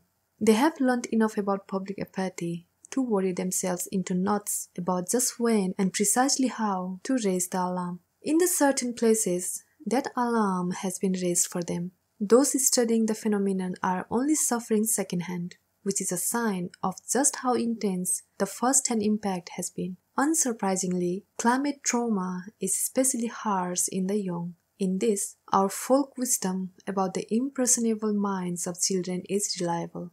32 weeks after Hurricane Andrew hit Florida in 1992, killing 40, more than half of children surveyed had moderate PTSD, and more than a third had a severe form. In the high impact areas, 70% of children scored in the moderate to severe range fully 21 months after the Category 5 storm. By dismal contrast, soldiers returning from war are estimated to suffer from PTSD at a rate between 11 and 31 percent. One especially detailed study examined the mental health fallout from Hurricane Mitch, a Category 5 storm and the second deadliest Atlantic hurricane on record, which struck Central America in 1998, leaving 11,000 dead. In Posoltega, the most hard hit region of Nicaragua, children had a 27% chance of having been seriously injured a 31% chance of having lost a family member, and a 63% chance of their home having been damaged or destroyed. You can imagine the after effects. 90% of adolescents in the area were left with PTSD, with the average adolescent boy registering at the high end of the range of severe PTSD and the average teenage girl registering over the threshold of very severe. Six months after the storm, four out of every five teenage survivors from Posoltega suffered from depression. More than half, the study found, compulsively nursed what the authors called, a bit euphemistically, vengeful thoughts. And then there are the more surprising mental health costs. Climate affects both the onset and the severity of depression, the Lancet has found. Rising temperature and humidity are married in the data to emergency room visits for mental health issues. When it's hotter out, psychiatric hospitals see spikes in proper inpatient admissions as well. Schizophrenics, especially, are admitted at much higher rates when the temperatures are higher, and inside those hospitals, where temperature significantly increases symptom severity in schizophrenic patients. Heat waves bring waves of other things too mood disorders, anxiety disorders, dementia. Heat produces violence and conflict between people. We know and so it should probably not surprise us that it also generates a spike in violence against oneself. Each increase of a single degree Celsius in monthly temperature is associated with almost a percentage point rise of the suicide rate in the United States and more than 2 percent points in Mexico. An unmitigated emissions scenario could produce 40,000 additional suicides in these countries by 2050. One startling paper by Tamma Carleton has suggested that global warming is already responsible for 59,000 suicides, many of them farmers in India, where one fifth of all the world's suicides now occur, and where suicide rates have doubled since 1980. When temperatures are already high, see found a rise of just one additional degree on a single day will produce 70 additional corpses is dead by the farmer's own hand. If you have made it this far, you are a brave reader. Any one of these 12 chapters contain, by rights, enough horror to induce a panic attack in even the most optimistic of those considering it. But you are not merely considering it, you are about to embark on living it. In many cases, in many places, we already are. In fact, what is perhaps more remarkable about all of the research summarized to this point concerning not only refugees, health, and mental health, but also conflict and food supply and sea level and all of the other elements of climate disarray is that it is research emerging from the world we know today. That is, a world just one degree warmer, a world not yet deformed and defaced beyond recognition a world bound largely by convention devised in an age of climate stability, now barreling headlong into an age of something more like climate chaos, a world we are only beginning to perceive.